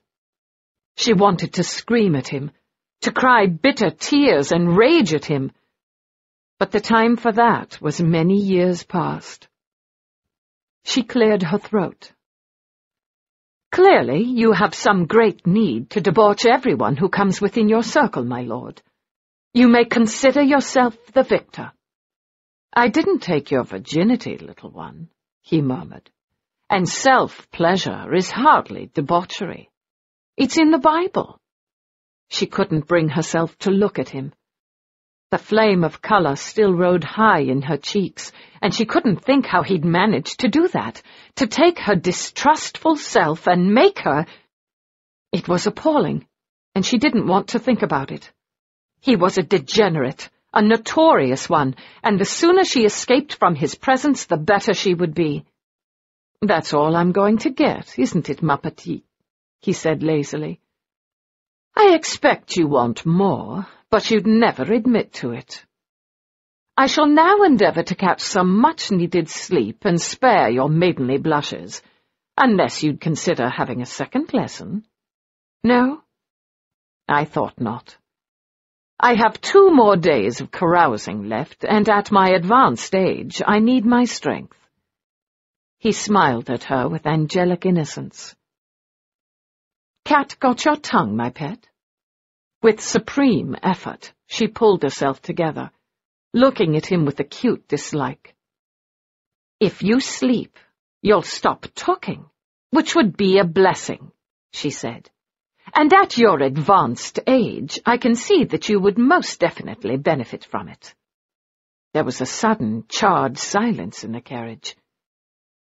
My dear Miss Harriman, if you continue to amuse me, it will be extremely difficult for me to keep my hands off you.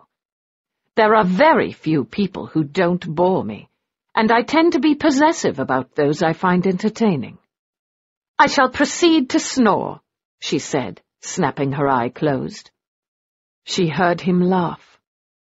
It was a wicked sound, soft and low, and for many women irresistible. But she wasn't many women. Her body still trembled from the aftermath of what he... what they had done. She folded her bare hands beneath the fur pelisse and stared out the window, ignoring him. It was the noise that awoke her. The carriage clattered over the rough cobbles of the city streets, and her eyes flew open to meet his. Once again, Miss Harriman, you have slept with me, he said once might be forgiven by a disapproving society. Twice puts you quite beyond the pale. I think you should give up any pretensions to modesty and return to my chateau with me. Or my townhouse is quite large. You could wander around there for days and never see anyone. We could spend hours in bed. Don't be tiresome, Monsieur le Comte, she said sharply. the last traces of sleep ripped away. How could she have fallen asleep in his presence, particularly after what he'd done to her? How could she have been so foolish? She straightened her shoulders. In fact, we're not far from my house, and I believe this carriage is too wide for the narrow streets. Why don't you let me down here and I'll walk the rest of the way? I'm certain Mrs. Clark will forgive you. Dear child, he said, I have no intention of abandoning you in your hour of need. Besides, I have to find out what exactly you're so desperate to keep hidden. A strapping live-in lover? Perhaps you live in a brothel and your sainted mother is one of your most lucrative whores. No, that doesn't seem likely.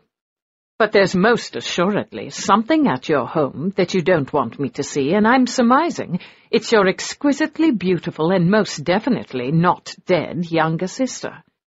You must know my curiosity, like all my appetites, is insatiable. I don't... She slapped a hand over her mouth, bending over. Stop the carriage, she said in a strangled voice. Her companion didn't move. Are you unwell? You turned quite a shade just then. I'm going to be sick.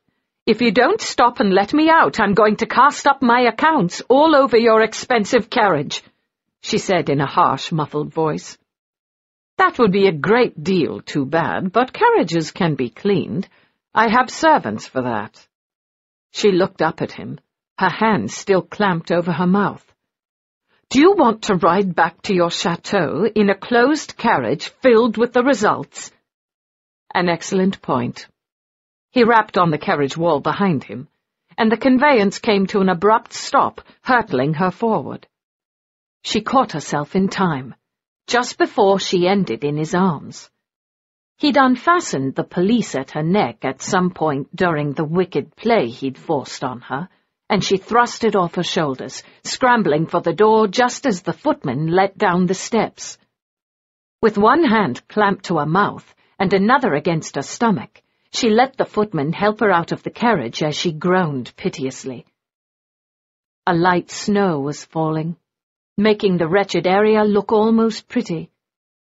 She felt the ground beneath her feet and for a moment she began to sink to her knees in order to relieve herself of her last meal. She leaned toward the footman, making a gagging noise, and he drew back instinctively, releasing her. It was all she needed. In a moment she was gone, disappearing into the throngs that crowded the main thoroughfare of that miserable part of the city. She could bless the new boots, and thank Mrs. Clark most heartily for them, she thought as she raced through the streets, turning corners, making her way deeper and deeper into the seedy underbelly of Rue de Pelican. He would be no match for her.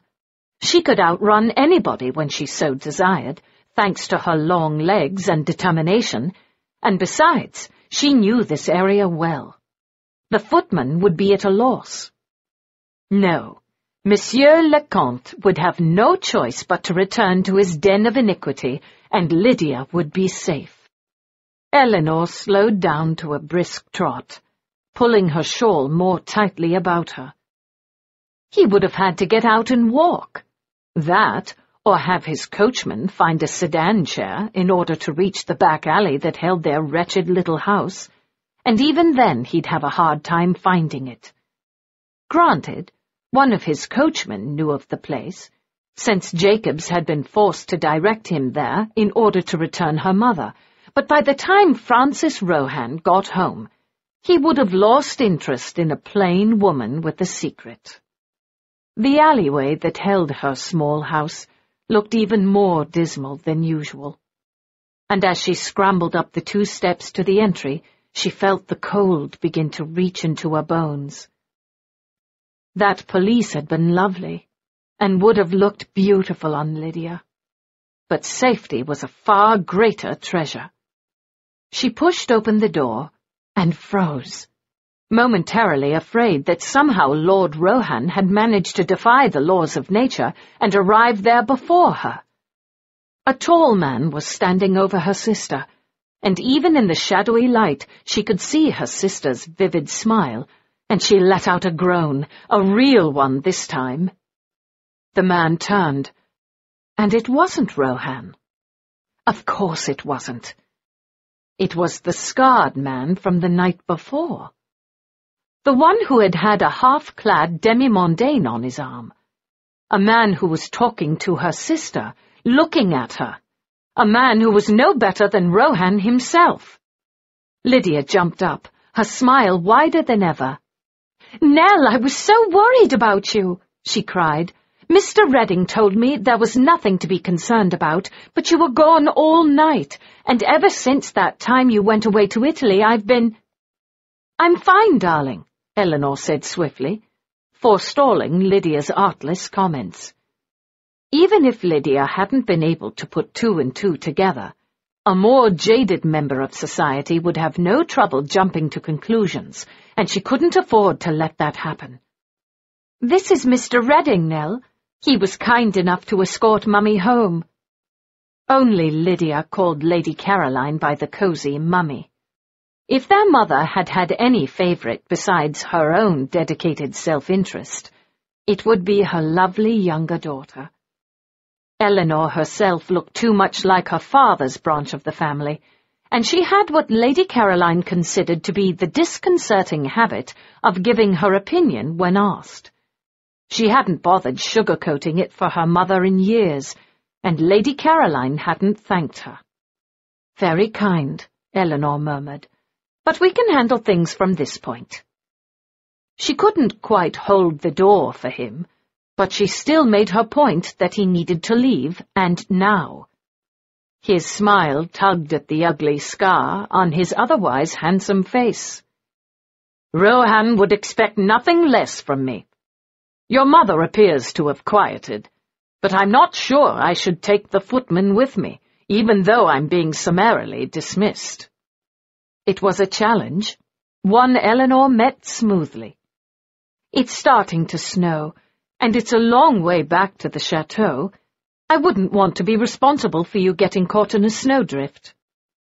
Only if you pushed me in, Miss Harriman, which you look tempted to do. He caught Lydia's small hand in his and gave her an extravagant kiss. There was no mistaking the look in her sister's eyes, though Elinor hoped and prayed Redding wasn't alert enough to read it. Let me just check on our mother, Elinor said. I would expect from the blissful silence emanating from the bedroom that she's well settled and we have no more need of your so generous assistance. She turned, trying not to shiver in the cool morning air. There wasn't much of a fire in the grate, and she had no idea where they'd get more wood. But first things first, and getting rid of the man standing far too close to her baby sister was utmost. She had no choice but to leave them together long enough for her to see to Lady Caroline, but then she could shoo him out quite handily. Two of Rohan's liveried footmen stood in the hallway, almost on guard, and at Elinor's approach they moved out of the way, bowing. She pushed open the door to see Nanny sitting beside her mother. Lady Caroline lay still in the narrow bed, with only the fitful light of the winter morning to pierce the darkness. She hasn't moved since they brought her back, poor thing, Nanny said. I washed her and tried to make her more comfortable and told the gentleman that he can safely leave. Your poor mother probably won't be up for days. She looked back at her charge. If ever. Elinor looked down at her mother. Her skin was bluish, with deep circles around her eyes, but for the moment she was at peace. Has she taken any food? Nanny Maud knew better than she did just how little food there was in their larder. Some weak tea, and a bit of gruel. She spat out more than she took in and they couldn't afford to waste what little they had. I'll send Lydia in while I get rid of our visitors, Elinor said. What are you going to do, Miss Nell? Nanny said plaintively. I've sent Jacobs out to see what he can find, but there's nothing left for me to make a dinner out of.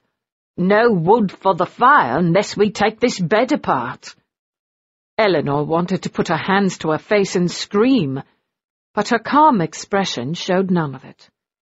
It was up to her to see to things, and even if she hadn't the vaguest idea what she was going to do, she didn't need to share that.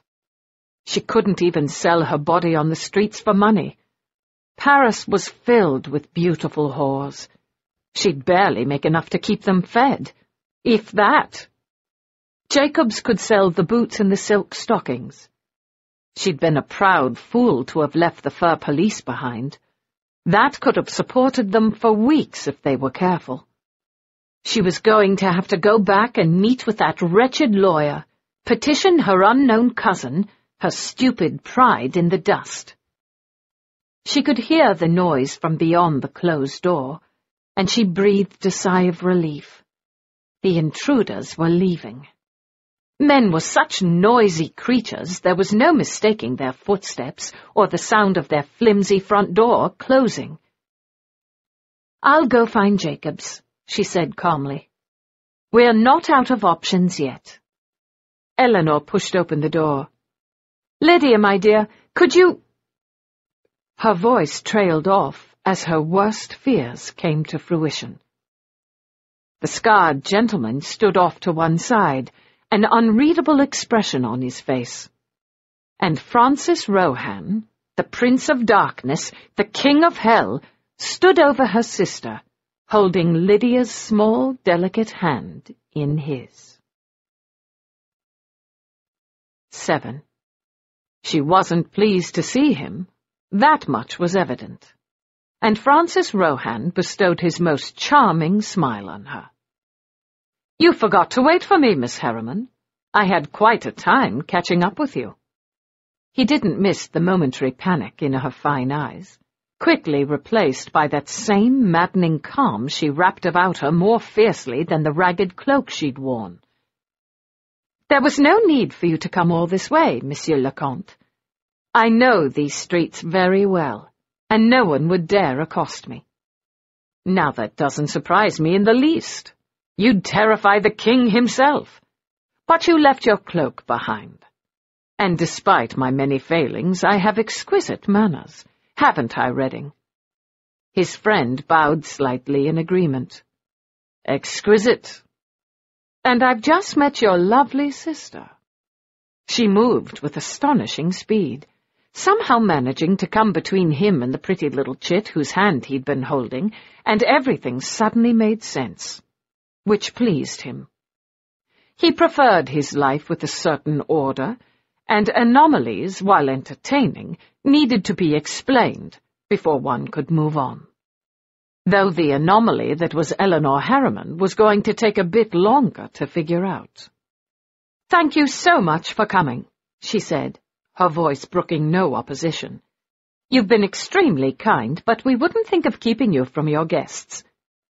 She was tall enough and solid, but he could simply pick her up and move her out of the way if he had any interest in the pretty little sister. He had not. He'd had enough pretty girls and beautiful women to last him a lifetime. This other one, however, was proving interesting. He was still aroused from their time in the carriage. If he hadn't pretended to fall asleep, he would have had her skirts up over her head in a minute. She was standing too close to him for her own comfort, but she was determined to shield her sister from his lascivious eyes, and Redding had looked a bit abstracted when he'd first walked in, though his young friend would never make the mistake of wasting his time on an impoverished virgin. He had a fortune to make, and he'd always been dependable. Yes, Miss Harriman, he said, not moving. Wondering how far she'd go to get rid of him, if she'd put those pale hands on him. Wondering how he would react if she did. We thank you for your help, my lord she said in her most polite voice. I believe we can dispense with it at this point.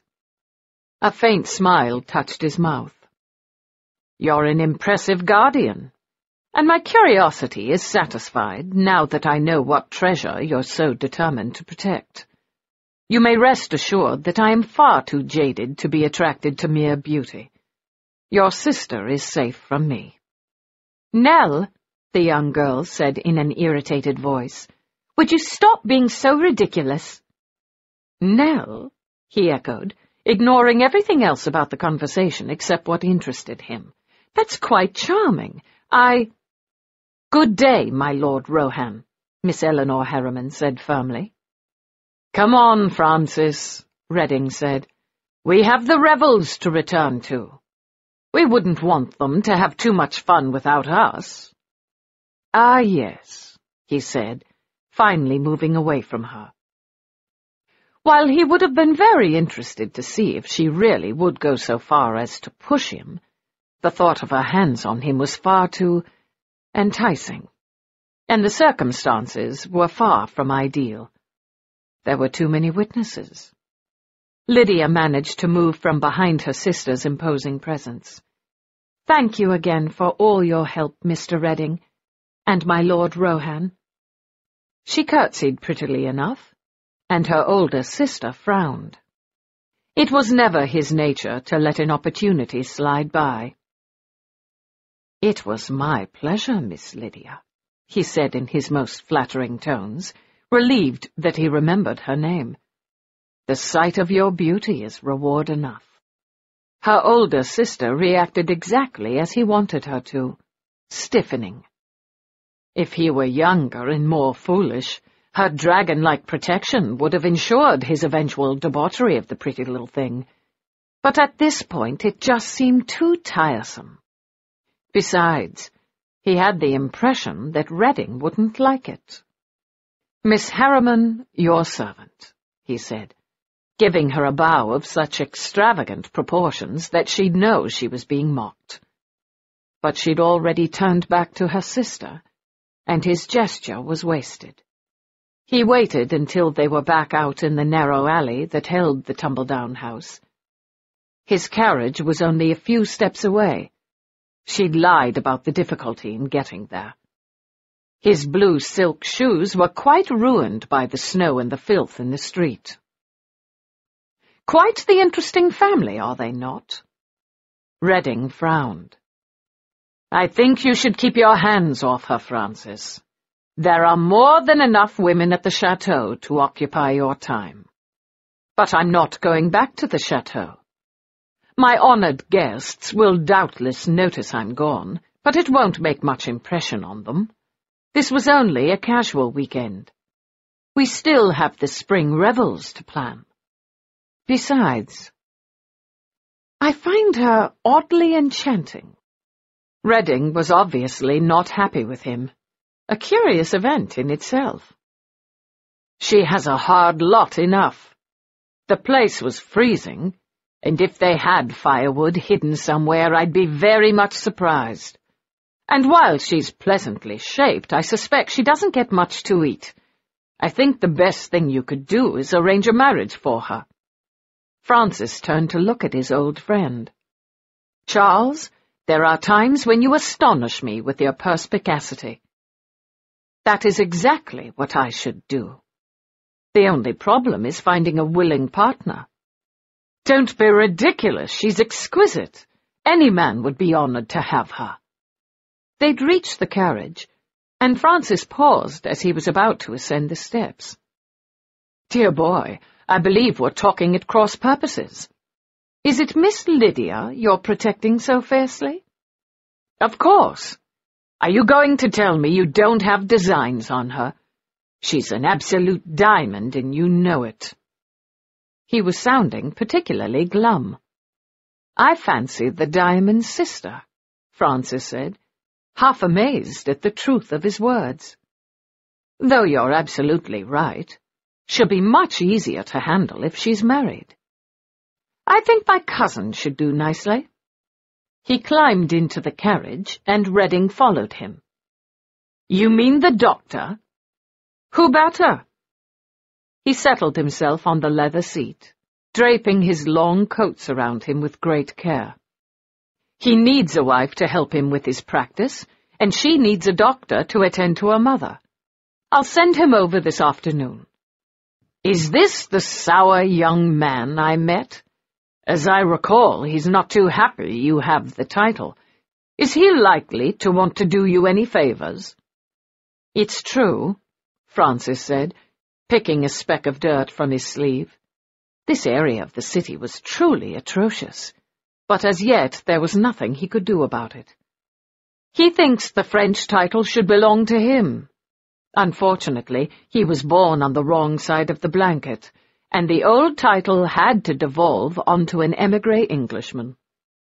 I've been more than generous with the boy, and he's wise enough to know that following my wishes is the best way to get his hands on at least some of the family estate, if I don't work through it first. You have more money than God, Francis.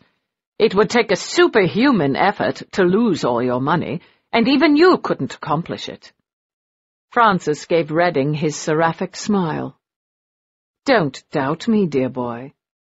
I can do anything I want if I set my mind to it. Redding's reluctant laugh was encouraging. That I don't doubt. I stand corrected. What say we return to the party after all? The spring revels won't be for another few weeks, and I see a long, dull period stretching in front of us. I have every intention of entertaining myself, Redding. You should know me well enough to realize that celibacy is no more for the likes of me than monogamy. And I've decided to celebrate Lent this year on a grand scale. Oh, bloody Christ, Redding said.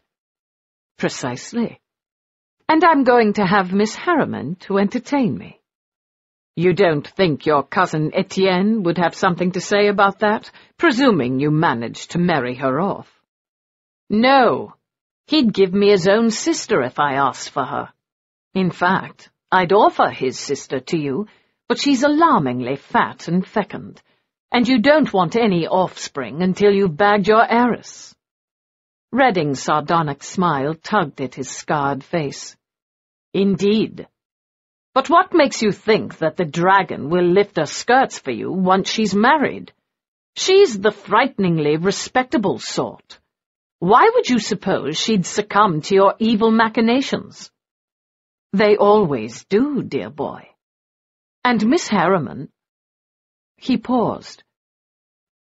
Good heavens! A moment later, there was a loud crack from outside the carriage. That's something I don't hear from you very often, Redding said. Good heavens, what? You have the strangest look on your face. Francis glanced down at the fine blue satin of his coat. First my shoes are ruined, and now this, he said in a faint voice. I'm afraid we're going to have to see my cousin sooner rather than later. Because? Because I do believe I've been shot, Francis said. Tell the coachman to hurry, would you? And he closed his eyes to the sounds of Redding pounding on the carriage wall and the whole conveyance came to an abrupt halt. Lydia loved her older sister more than any human being in this world, but at that moment she was more than a little cross with her. Was that entirely necessary? she said. You were being ridiculous. Elinor lifted her head, and for the first time Lydia noticed how pale she was. You don't realize how very bad Viscount Rohan is, she said in a subdued voice. I assure you, Nell, he has absolutely no interest in me, she said. Don't you think I'd be able to tell by now? Any attention he paid to me was simply to annoy you. Elinor flushed, which was odd. She was unused to a calm older sister looking disturbed. You mistake the matter, she said. He's the very fiend of duplicity. To lower one's guard around him would be courting disaster. More and more interesting. Did you lower your guard around him, dearest? Lydia said. Because he was certainly watching you quite closely. Did he do anything to you? Offer you an insult? Of course not. Elinor said with a shaky laugh. Do I look like the kind of woman to interest a libertine like Lord Rohan? He merely has a peculiar sense of humour, one he uses to torment others. You may be right. He certainly has his choice of some of the greatest beauties of Paris. I still insist you be careful if you happen to encounter him again. I would presume that we shan't be bothered by him any more in future, but it would be a mistake to assume that fate would be kind. I think we'll see him again, Lydia said, not bothering to cover her small smile. Elinor caught it. If you find something amusing about this situation, I would be most grateful if you would share it with me, because the humor of it escapes my attention entirely. He likes you, Nell, and why shouldn't he? Any man with sense would see what a wonderful woman you are. He won't be able to keep away from you. Stop it, Elinor said in a sharper tone than Lydia had ever heard from her. She took a deep breath.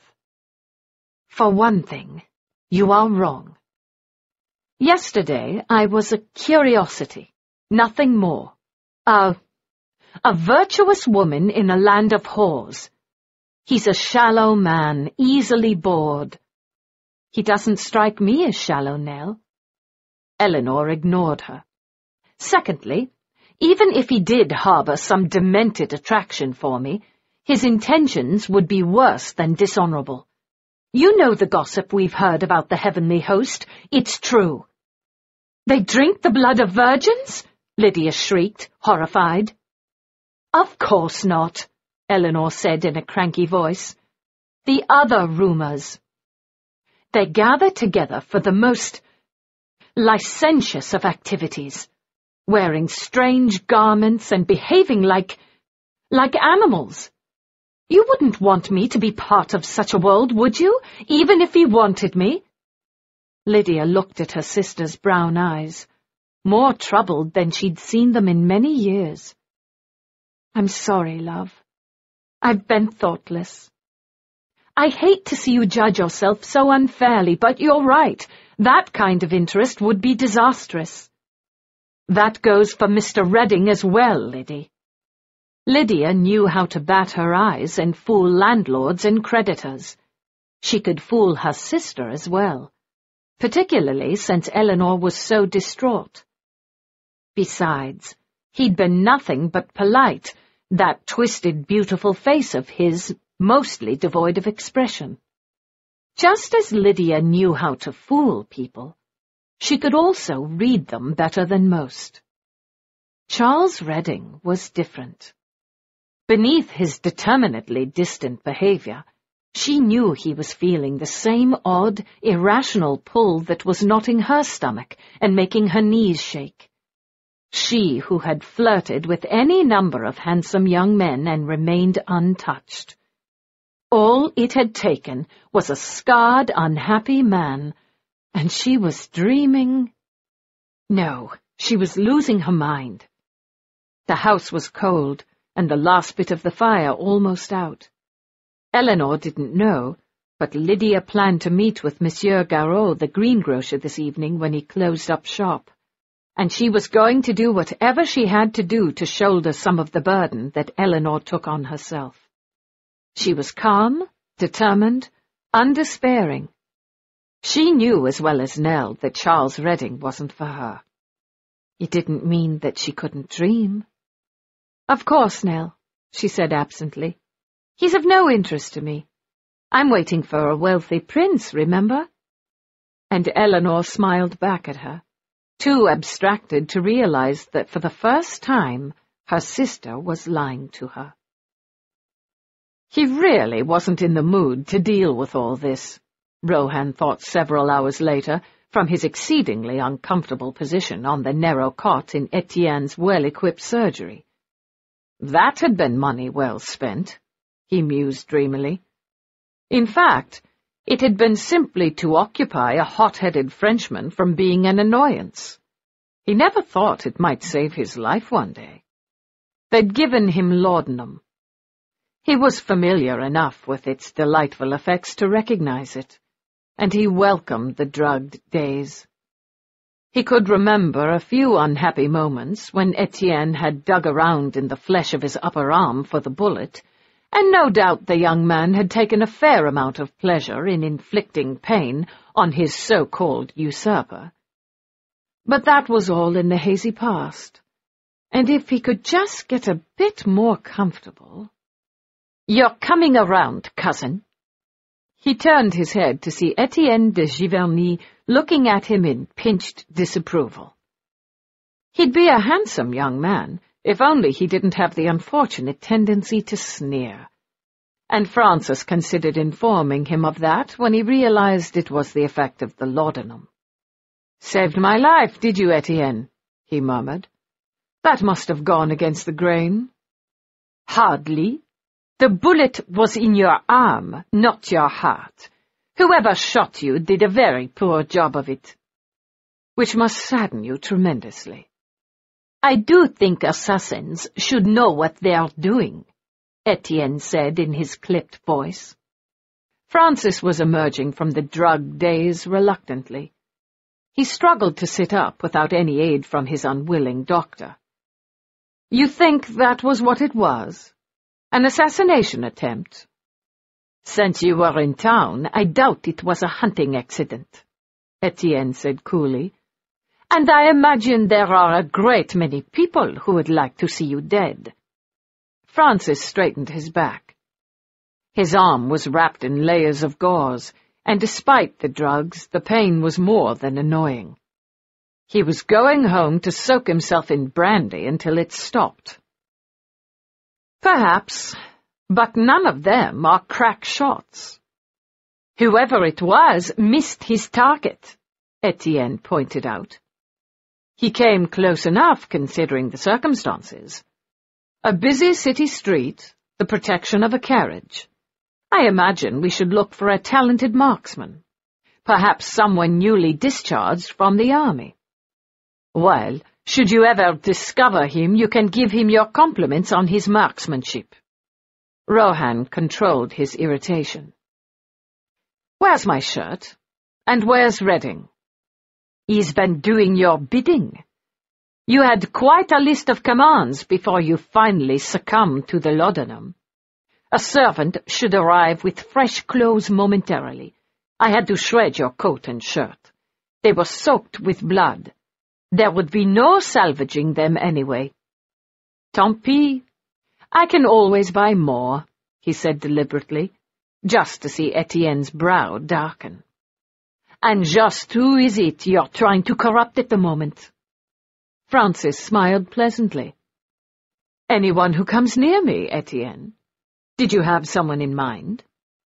Etienne made an annoyed click of his tongue. You had Redding dispatching firewood and food to some place in Rue de Pelican. Don't you realize you could have anyone from that area raise her skirts for a few sous? I agree, it's not a very savory area, but you'll find there are a couple of very virtuous young ladies in residence. With their il maman. I'd like you to call on them. See if there's anything you can do for the poor woman, he said, trying his best to look saintly. Charity is unlike you. He laughed. Oh, acquit me of any such motives. I have nothing but the most impure thoughts when it comes to one of the young women. I'd like you to see to the mother's swift and painless passing and marry the older girl. She'll provide you an excellent wife. Commonsensical and plain-spoken. She'll organize your life and your practice and give you a dozen hopeful children. There was a moment's silence. You still have the capacity to surprise me, Etienne said finally. I'm not going to kill some old woman for you, nor am I about to marry some woman so you can debauch her younger sister. In fact, the mother's not that old, but she's dying of the Spanish disease and her mind's gone. Rohan poked at his arm, then winced. She'll be dead in a matter of months anyway, and it's your future wife I wish to debauch. Etienne stared at him. There are times, Francis, when I wonder if you're quite mad. In my own way. I take it you don't fancy the idea of aiding me? No. I would be most grateful if you'd consider it, he said. You know I tend to express my gratitude in tangible ways. He could see the light of greed in his cousin's flat black eyes. And the mother could do with the doctor's care. I could send someone else, of course, but I thought I should offer such an opportunity to my dear cousin and heir. Etienne drew himself upright.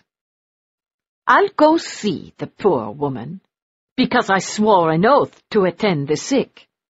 And you're not going to see me inherit the title. You'll marry on your deathbed and beget an heir just to spite me, he said in a voice that wasn't far from a whine.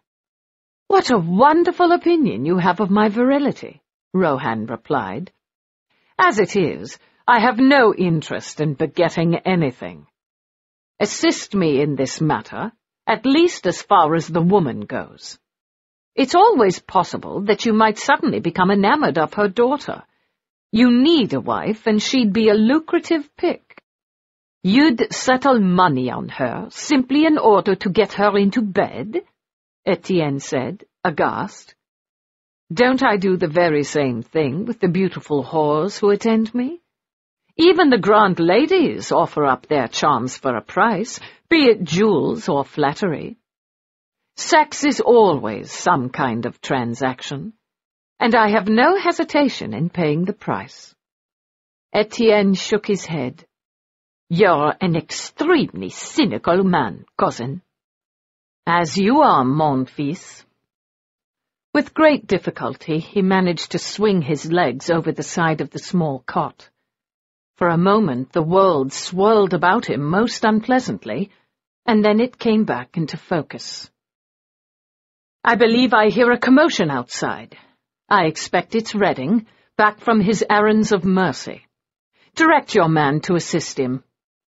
I have no man, cousin, just an elderly widow who helps me in the surgery, and I'm not about to have her wait on a spoiled aristocrat.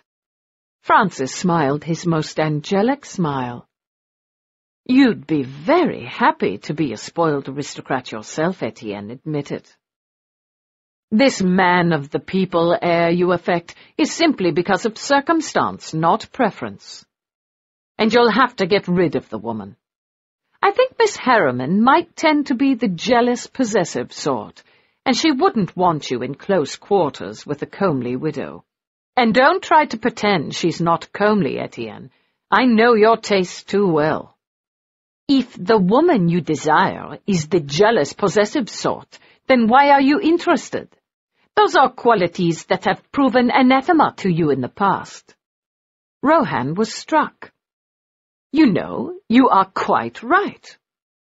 I have no idea why I am so intent on debauching a young woman who will give me nothing but trouble. But then, I've never spent over much time examining my motives. I want her. That's enough. He looked up as Redding was ushered into the room, indeed by a buxom young woman who could only be Etienne's elderly widow. Have you come to rescue me, dear boy? There's only so much of Etienne's disapproval that I can bear. The carriage awaits. The food and wood have been delivered, with furniture and rugs and bedding to follow. Are you certain you want to bother? You can dress a pig up in satin and lace, and it's still a pig. Francis smiled hazily. It had been a long day. In fact, a long pair of days, though he usually survived sleepless nights quite well. Are you calling my intended a pig, Charles? Charles raised a dark eyebrow. Intended what, Francis? You surely can't be having respectable inclinations toward this girl. The bullet hit your arm, not your head. No such thing, my boy. I'm too old to change. He turned to look at his sullen cousin. Etienne, do you have more of that lovely laudanum? I think I'll need medicinal assistance for the ride back to Maison de Giverny. He wasn't so far gone that he missed the pinched expression Etienne always wore at the mention of the Paris mansion that should have been his. You've had enough. But if you give me more, I might accidentally take too much and die. And then where would you be? he said sweetly. It will take but a moment. The moment he left the room, Rohan turned to Charles. The two women will be removed from the sty as soon as it's feasible. These things must be handled delicately, with finesse, and I've never been a clumsy man. Give me your arm. This place smells of cabbage and death. The sooner I return to my own bed, the happier I shall be. Your cousin has gone to get you more laudanum. I merely got tired of his sour face. He can send it later. Perhaps we ought to send someone to cheer him up. Marianne, for instance. He rose to his stocking feet unsteadily. Get me out of here, for mercy's sake. I have evil plans to hatch.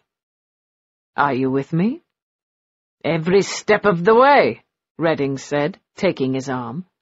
We're going to hell, you know. That was ascertained many years ago, Charles. Thank God.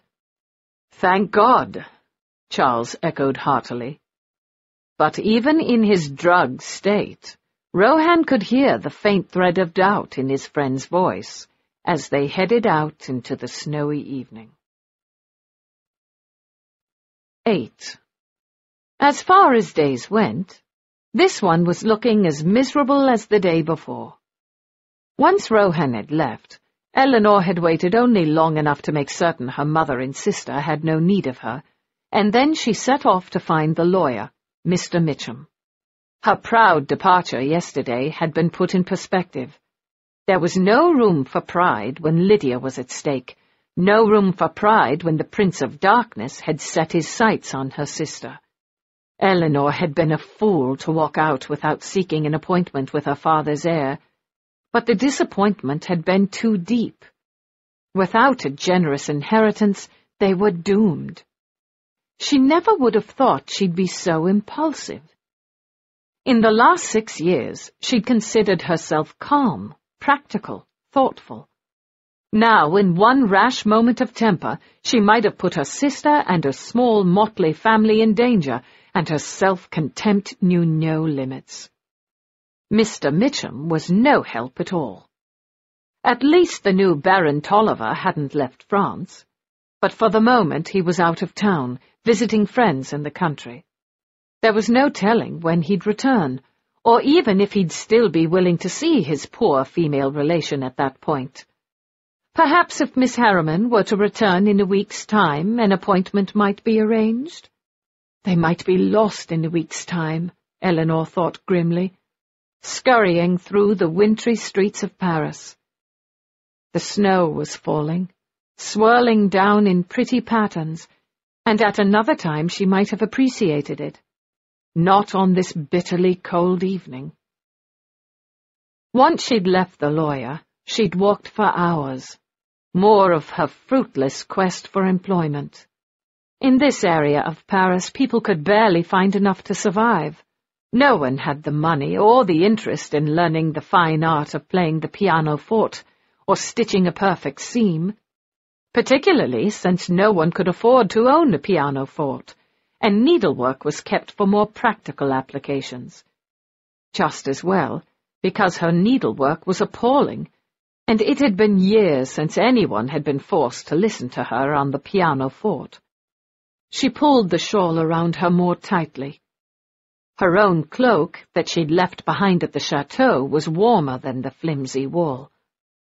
Rohan had brought the stolen, fur-lined cloak, but Elinor had enough sense not to wear it into the streets. Chances were it would have been ripped away from her in a matter of minutes. One did not display items of such worth in a desperate neighborhood such as this. And indeed, she'd left Lydia wrapped in it, warm and comfortable in the icy house, so it served its purpose. She just had to hope Lydia didn't have an attack of guilt and cover their mother with it. Lady Caroline was beyond knowing if she was hot or cold, and she'd thrown everything away. She didn't deserve the one bit of comfort in their barren home, Elinor thought with fierce bitterness. Tomorrow she would sell the cloak. Tonight they were going to have to break up the furniture in order to keep from freezing, and she wasn't sure where to start. Her mother's bed would be the obvious choice. The rest of them were already sleeping on the floor, but if Lady Caroline had a pallet on the floor, there'd be no way to restrain her, and that was even more dangerous than freezing to death. It would have to be the chairs or the table, and she couldn't decide which was more necessary. They were young enough and agile enough to sit comfortably on the floor, though Nanny and Jacobs had a much harder time of it. Nanny Maud had frequently napped as she sat beside Lady Caroline on the bed, her back against one of the posts, but that could hardly serve as her main mode of sitting. Darkness was falling, and what little safety there was in the streets that surrounded them was fading fast as well. She had no choice but to head back, having failed in the most simple of quests. She thought back to that tray of cinnamon toast strips and wanted to cry. There was an odd light coming from the small windows that looked out onto the street. And Elinor paused, momentarily confused. One house did look much like another, and she might have mistaken where she was, but no, she could hear Lydia's voice raised in laughter, and she burst through the door, suddenly terrified that her nemesis had returned. The room was warm. Waves of heat coming from the crackling fire in the hearth, with stacks of wood waiting to one side. There were candles lit all around, putting a temporary pleasant glow on their poverty, and she could smell the unbelievable scent of roasting chicken from the small room that served as kitchen and servants' quarters. She looked around, somewhat desperately, but there was no tall, dangerously beautiful man in sight. No one at all but Lydia and Nanny Maud. Isn't it wonderful, Nell? Lydia cried, jumping up.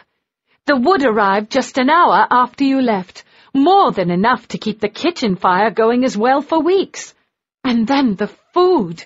You wouldn't believe it. Flour and sugar and tea, fresh cream and butter, and chicken, potatoes, sausages. Nanny's already made us scones. It's heavenly. Not quite, Elinor thought. Remember Rohan's satanic smile.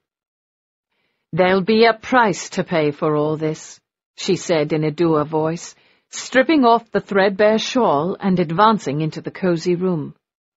One I'll gladly pay, Lydia said cheerfully. If I have to trade my innocence for a warm bed and a chicken dinner, then I'll do so without hesitation. This scone itself is worth any number of indecent favours. Don't make light of it, Liddy, she said sharply. This isn't an act of disinterested charity. Lydia popped the rest of the scone in her mouth, then smiled beatifically. No, I suppose it's not. But for some reason I doubt Lord Rohan would be the kind of man who'd force you, no matter how wicked he likes to think himself. I think he likes the thrill of the chase. Liddy, darling, she said, crossing the room and taking a scone. He's a heartless, soulless libertine. I doubt there's anything he'd refrain from doing simply for moral principles. He has no moral principles. Perhaps not. I suspect he's not the villain he pretends to be. He likes the challenge, the power. Using force would be too clumsy for him. He'd consider it failure. You're right about that much, Elinor said. But it's not me he'd want, and I'm not letting any man... She took a bite of the scone. Take liberties with you. She took another bite. I'm here to protect you. She closed her eyes. And... Damn, you're right. This is enough to make one surrender one's honour in a trice. Don't use such language, Miss Elinor, Nanny Maud said. You've been spending too much time in these awful streets and around your mother. Our awful mother, Lydia said with a giggle. And I didn't make the scones. They arrived along with everything else. Real Devonshire clotted cream, strong black tea from China, fresh strawberry preserves. Even the chicken was already butchered and dressed, ready for the pot. Someone thinks I can't cook, she said with offended dignity. Someone thinks you have way too many things to worry about and thought you deserved some assistance, Lydia assured her. She twirled around the room, practically giddy. Don't you see, Nell? We have a guardian angel, and who cares if he's a fallen one? I'm not afraid of him. You're wrong. He has no nefarious designs on me, and you're more than a match for him. If he has wicked motives, he's going to be sorely disappointed. Elinor couldn't help it.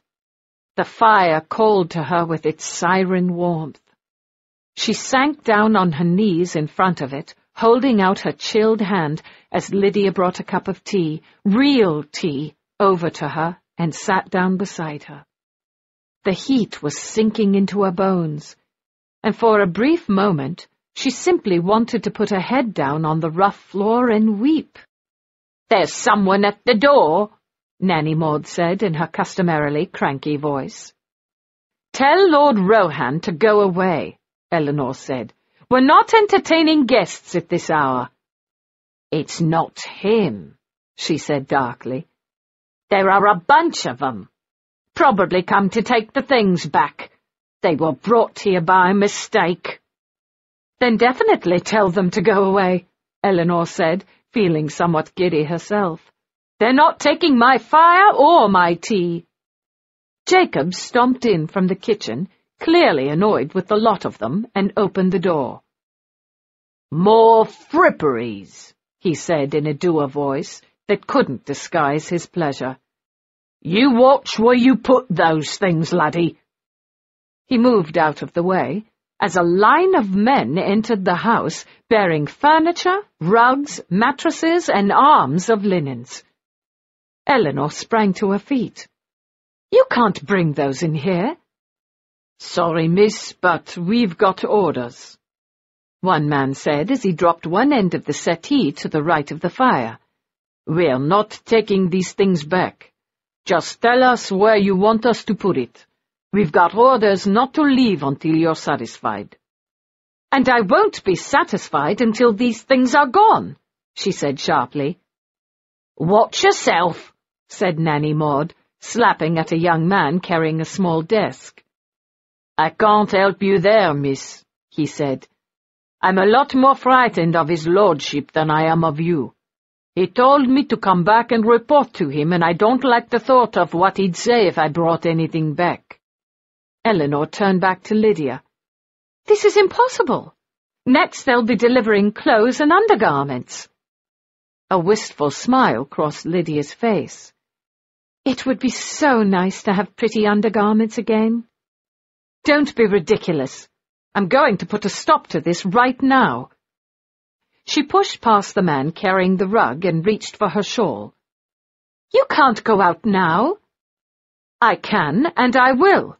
It's still early.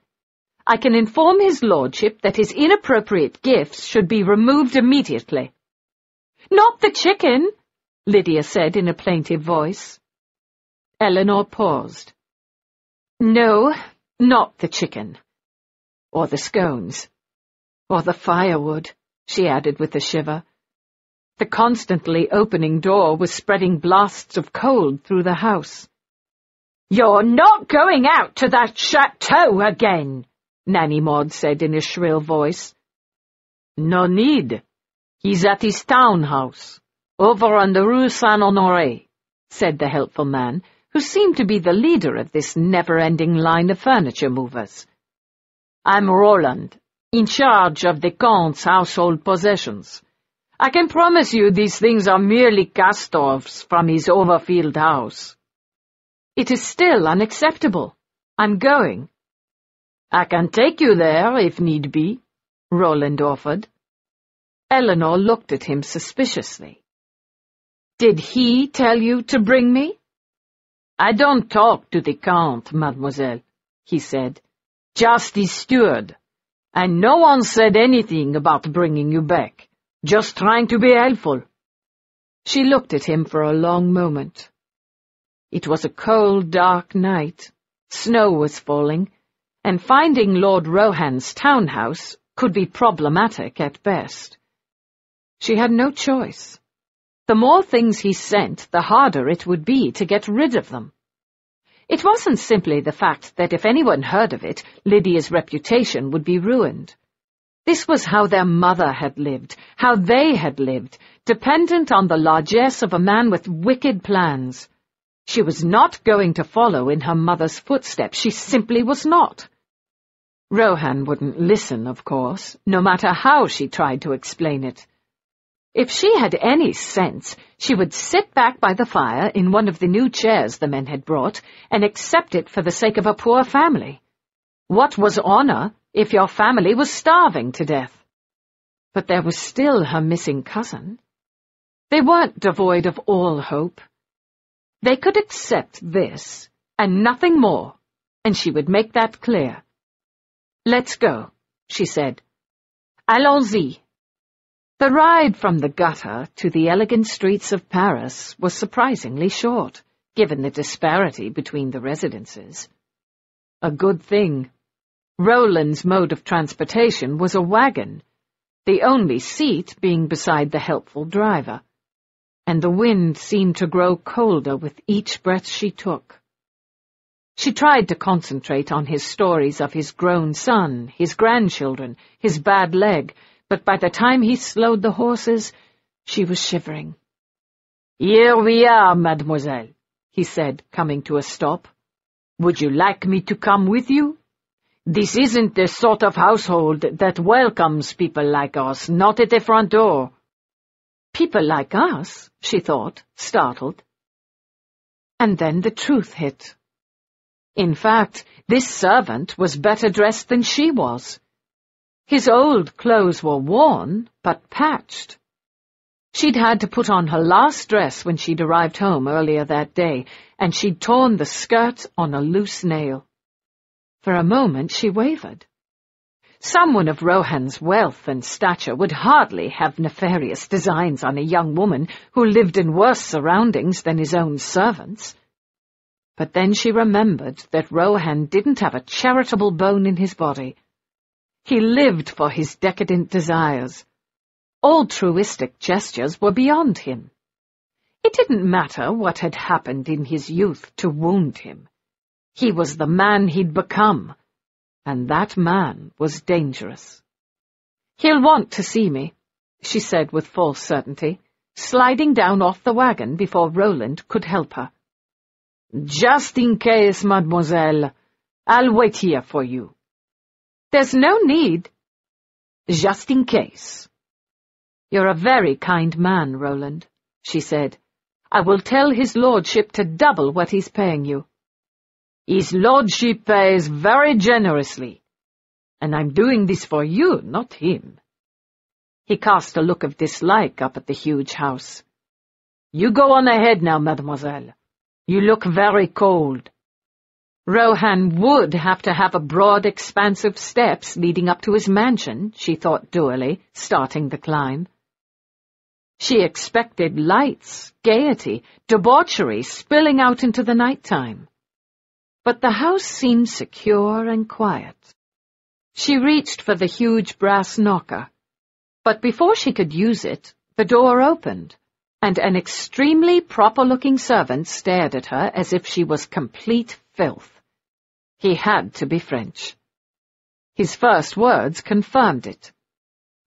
The servant's entrance is to the side, he said, and started to close the door in her face. She threw her body against it to halt him. I'm here to see his lordship. Just tell him Miss Harriman is here. The man's gaze flicked out at the wagon waiting for her, then back at her, and if anything, his look was even more disdainful. I have heard no mention of that name, he said haughtily, pushing on the door. Just ask him— The door slammed shut in her face, leaving her standing there, cold and furious. All right, she said beneath her breath. You asked for it. She stomped back down the snow-covered stairs, mentally thanking Mrs. Clark for her pilfered boots, and climbed up into the wagon. The servants' entrance it is, Roland. She'd lived such a strange life. So many extremes, and yet she'd never ventured into the servants' quarters of a great house. From her father's country house to the elegant Paris apartments where her mother and her lover had lived with passionate abandon, so much so that it had been up to Elinor and Nanny Maud to bring up Lydia, they'd still remained sequestered from the servants' quarters. The apartments and houses grew shabbier, but somehow she'd yet to venture into the demi-world of working people. It was warm and clean in the back hallway. In the distance, she could hear the sounds of the servants talking as they worked on what must be dinner, and Elinor wondered what it would be like to have the safety and warmth of honest labour. Perhaps she could become a servant. There was no task she particularly excelled at.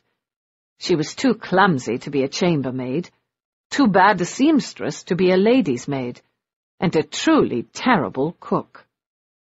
Perhaps a kitchen maid might be possible, under the watchful eye of some stern master chef, and she could— Mademoiselle, Roland interrupted her brief fantasy. If you go straight down that hallway, you'll find stairs to the main living quarters. You keep an eye out for Caval. He runs this place with an iron fist. Bless you, Roland, she said. I wish I had money. There is no need.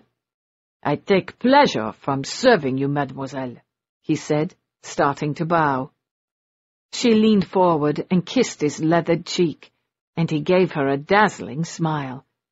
And then she turned and headed off in search of her nemesis. The steps were narrow, with rough wood, clearly a servant's staircase, and she moved quietly. There was a closed door at the top, of course, and she hesitated for a moment. Once she entered the main part of the house, what would she do? Start searching the rooms until she found him, obviously, but exactly how she'd start the conversation was a problem, considering that she had to sneak into his house. That was his fault as well for hiring a major domo who was such a, ah... Polite words evaded her, and even in the privacy of her own mind she couldn't use the street words she'd unconsciously absorbed during the last few years. Bâtard would have to do. She pushed open the door very carefully and stepped into the lion's den. The space was warm with the golden glow that came from only the best beeswax candles. The ones he had sent to her house, along with the blessed firewood and the food that she'd stormed off and missed. For a moment she felt faint with hunger. She'd eaten nothing since the toast strips in the morning and the scone less than an hour ago, and it wasn't enough to keep her sturdy frame alive. She wasn't delicate like Lydia. She was taller stronger, and she felt as if she'd been running some terrible, endless race. She would have given anything to lie down on one of the new beds they'd brought in and sleep for days. Anything but her sister's honor. And her own, what was left of it. She closed the door behind her and set off, resolute.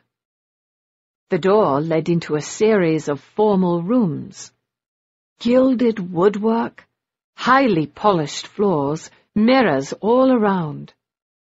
She'd heard stories of Versailles and the Hall of Mirrors. Surely this rivaled those places. Despite what little she knew of Lord Rohan, she was uncomfortably aware that his fortune was enormous. As were the marble stairs she eventually confronted. She moved up slowly, keeping to the edge in case an overzealous servant should appear. But it was evening, and most of them would be discreetly absent unless summoned. She remembered that much from her family's more affluent times. She wandered the hallways of the first floor, peering into rooms. She found a library, redolent of leather and pipe tobacco, a pretty little salon clearly designed for the woman of the house, clearly never used, a music room with a pianoforte and harp. At the end of one hall was the ballroom, dark and silent. At the opposite end, a locked door. She pressed her ear against the door, but all was silent. Whatever that room was used for, and she shuddered to think, it was empty now. She had no choice but to climb another flight of stairs, this one smaller, but no less magnificent. What if Roland was mistaken? What if she was wandering around the Viscount Rohan's townhouse with no one there? And then she heard the voices as she reached the top of the stairs. His, deep and melodious. And she held her breath, expecting a woman's reply. Instead, a man's voice, the words too indistinct for her to decipher. She moved out of the shadows, heading in the direction of that room, when her rival from the front door suddenly reappeared, carrying a tray with a carafe and glasses. You! the butler said in tones of extreme loathing, too much the professional to drop the tray. He set it down carefully on a table, but she was already off, racing in the direction of those voices. A door was open, light spilling out into the hallway, with her goal just beyond it. She'd almost reached it, her booted feet no longer silent on the parquet floor, when the major domo caught up with her, catching her hair and yanking her back painfully. She bit him, hard, and kicked him in the shins with Lady Carlton's boots, and she heard her dress tear as she lunged forward, skittering through the open door to greet the room's inhabitants, who stared at her in shocked silence. 9. At least the scarred man, Redding, appeared suitably shocked, Elinor thought. Lord Rohan, as always, was a different matter. He appeared to be expecting her, the wretch. He was sitting in splendid state in the middle of a huge bed hung with gloriously gilded curtains, his hair loose around his shoulders, and he was completely naked at least as far as she could tell. He had covers pulled to his waist, but it still left far too much flesh exposed, and she wasn't supposed to be thinking about that when her nemesis came skidding around the corner after her. Lord Rohan made no effort to cover himself. He merely smiled at her. You shouldn't look so surprised, Charles. It's my darling poppet from last night. Clearly she couldn't bear to be parted from me. Did I tell you we slept together? Twice, and extremely pleasant it was. Redding made a choking sound. Pleasant. His lordship is misleading you as always, Elinor said. I fell asleep in his presence. Not everyone finds him as entertaining as you seem to. Do you see why she enchants me, Redding? Rohan said and then his gaze and voice hardened to steel. You didn't offer Miss Harriman any insult, did you, Cavall? I should be most displeased if she were not treated with the utmost care and respect. She glanced behind her. The major domo was the color of parchment, and she could swear she could hear his knees knocking. There was no question that he was terrified. Of course he treated me with care and respect, she said in a crabby voice, taking pity on the man. He simply wished to announce my presence to give you time to cover yourself like any decent Christian, but I was in too much of a hurry and I ran ahead. Indeed, he said, clearly not believing a word she said. You always run around in torn clothes and your hair halfway down your back. You may go, Cavall. We'll discuss this later. Yes, my lord, the man said, his voice quaking. Then Rohan's dark blue eyes focused on her. And what in heaven's name made you think I was a decent Christian, child? I am affronted. She took a deep, steadying breath. There is always hope, Monsieur le Comte. I wish to speak to you. And here you are, my precious. Is it a private matter? Redding will be more than happy to leave us. Come sit beside me. He patted the snow-white sheets. If I am to entertain a woman in my bedroom, I prefer to keep them in close quarters. And I prefer you to put clothes on. Why? He sounded like the soul of reason. For the first time, she noticed the bandage on his arm. You've been hurt, she said, momentarily distracted. A trifle. He dismissed it. Why do you want me to put clothes on? I will not have a discussion with a... a naked man. It's distracting. His soft laugh was maddening. Very well, my sweet.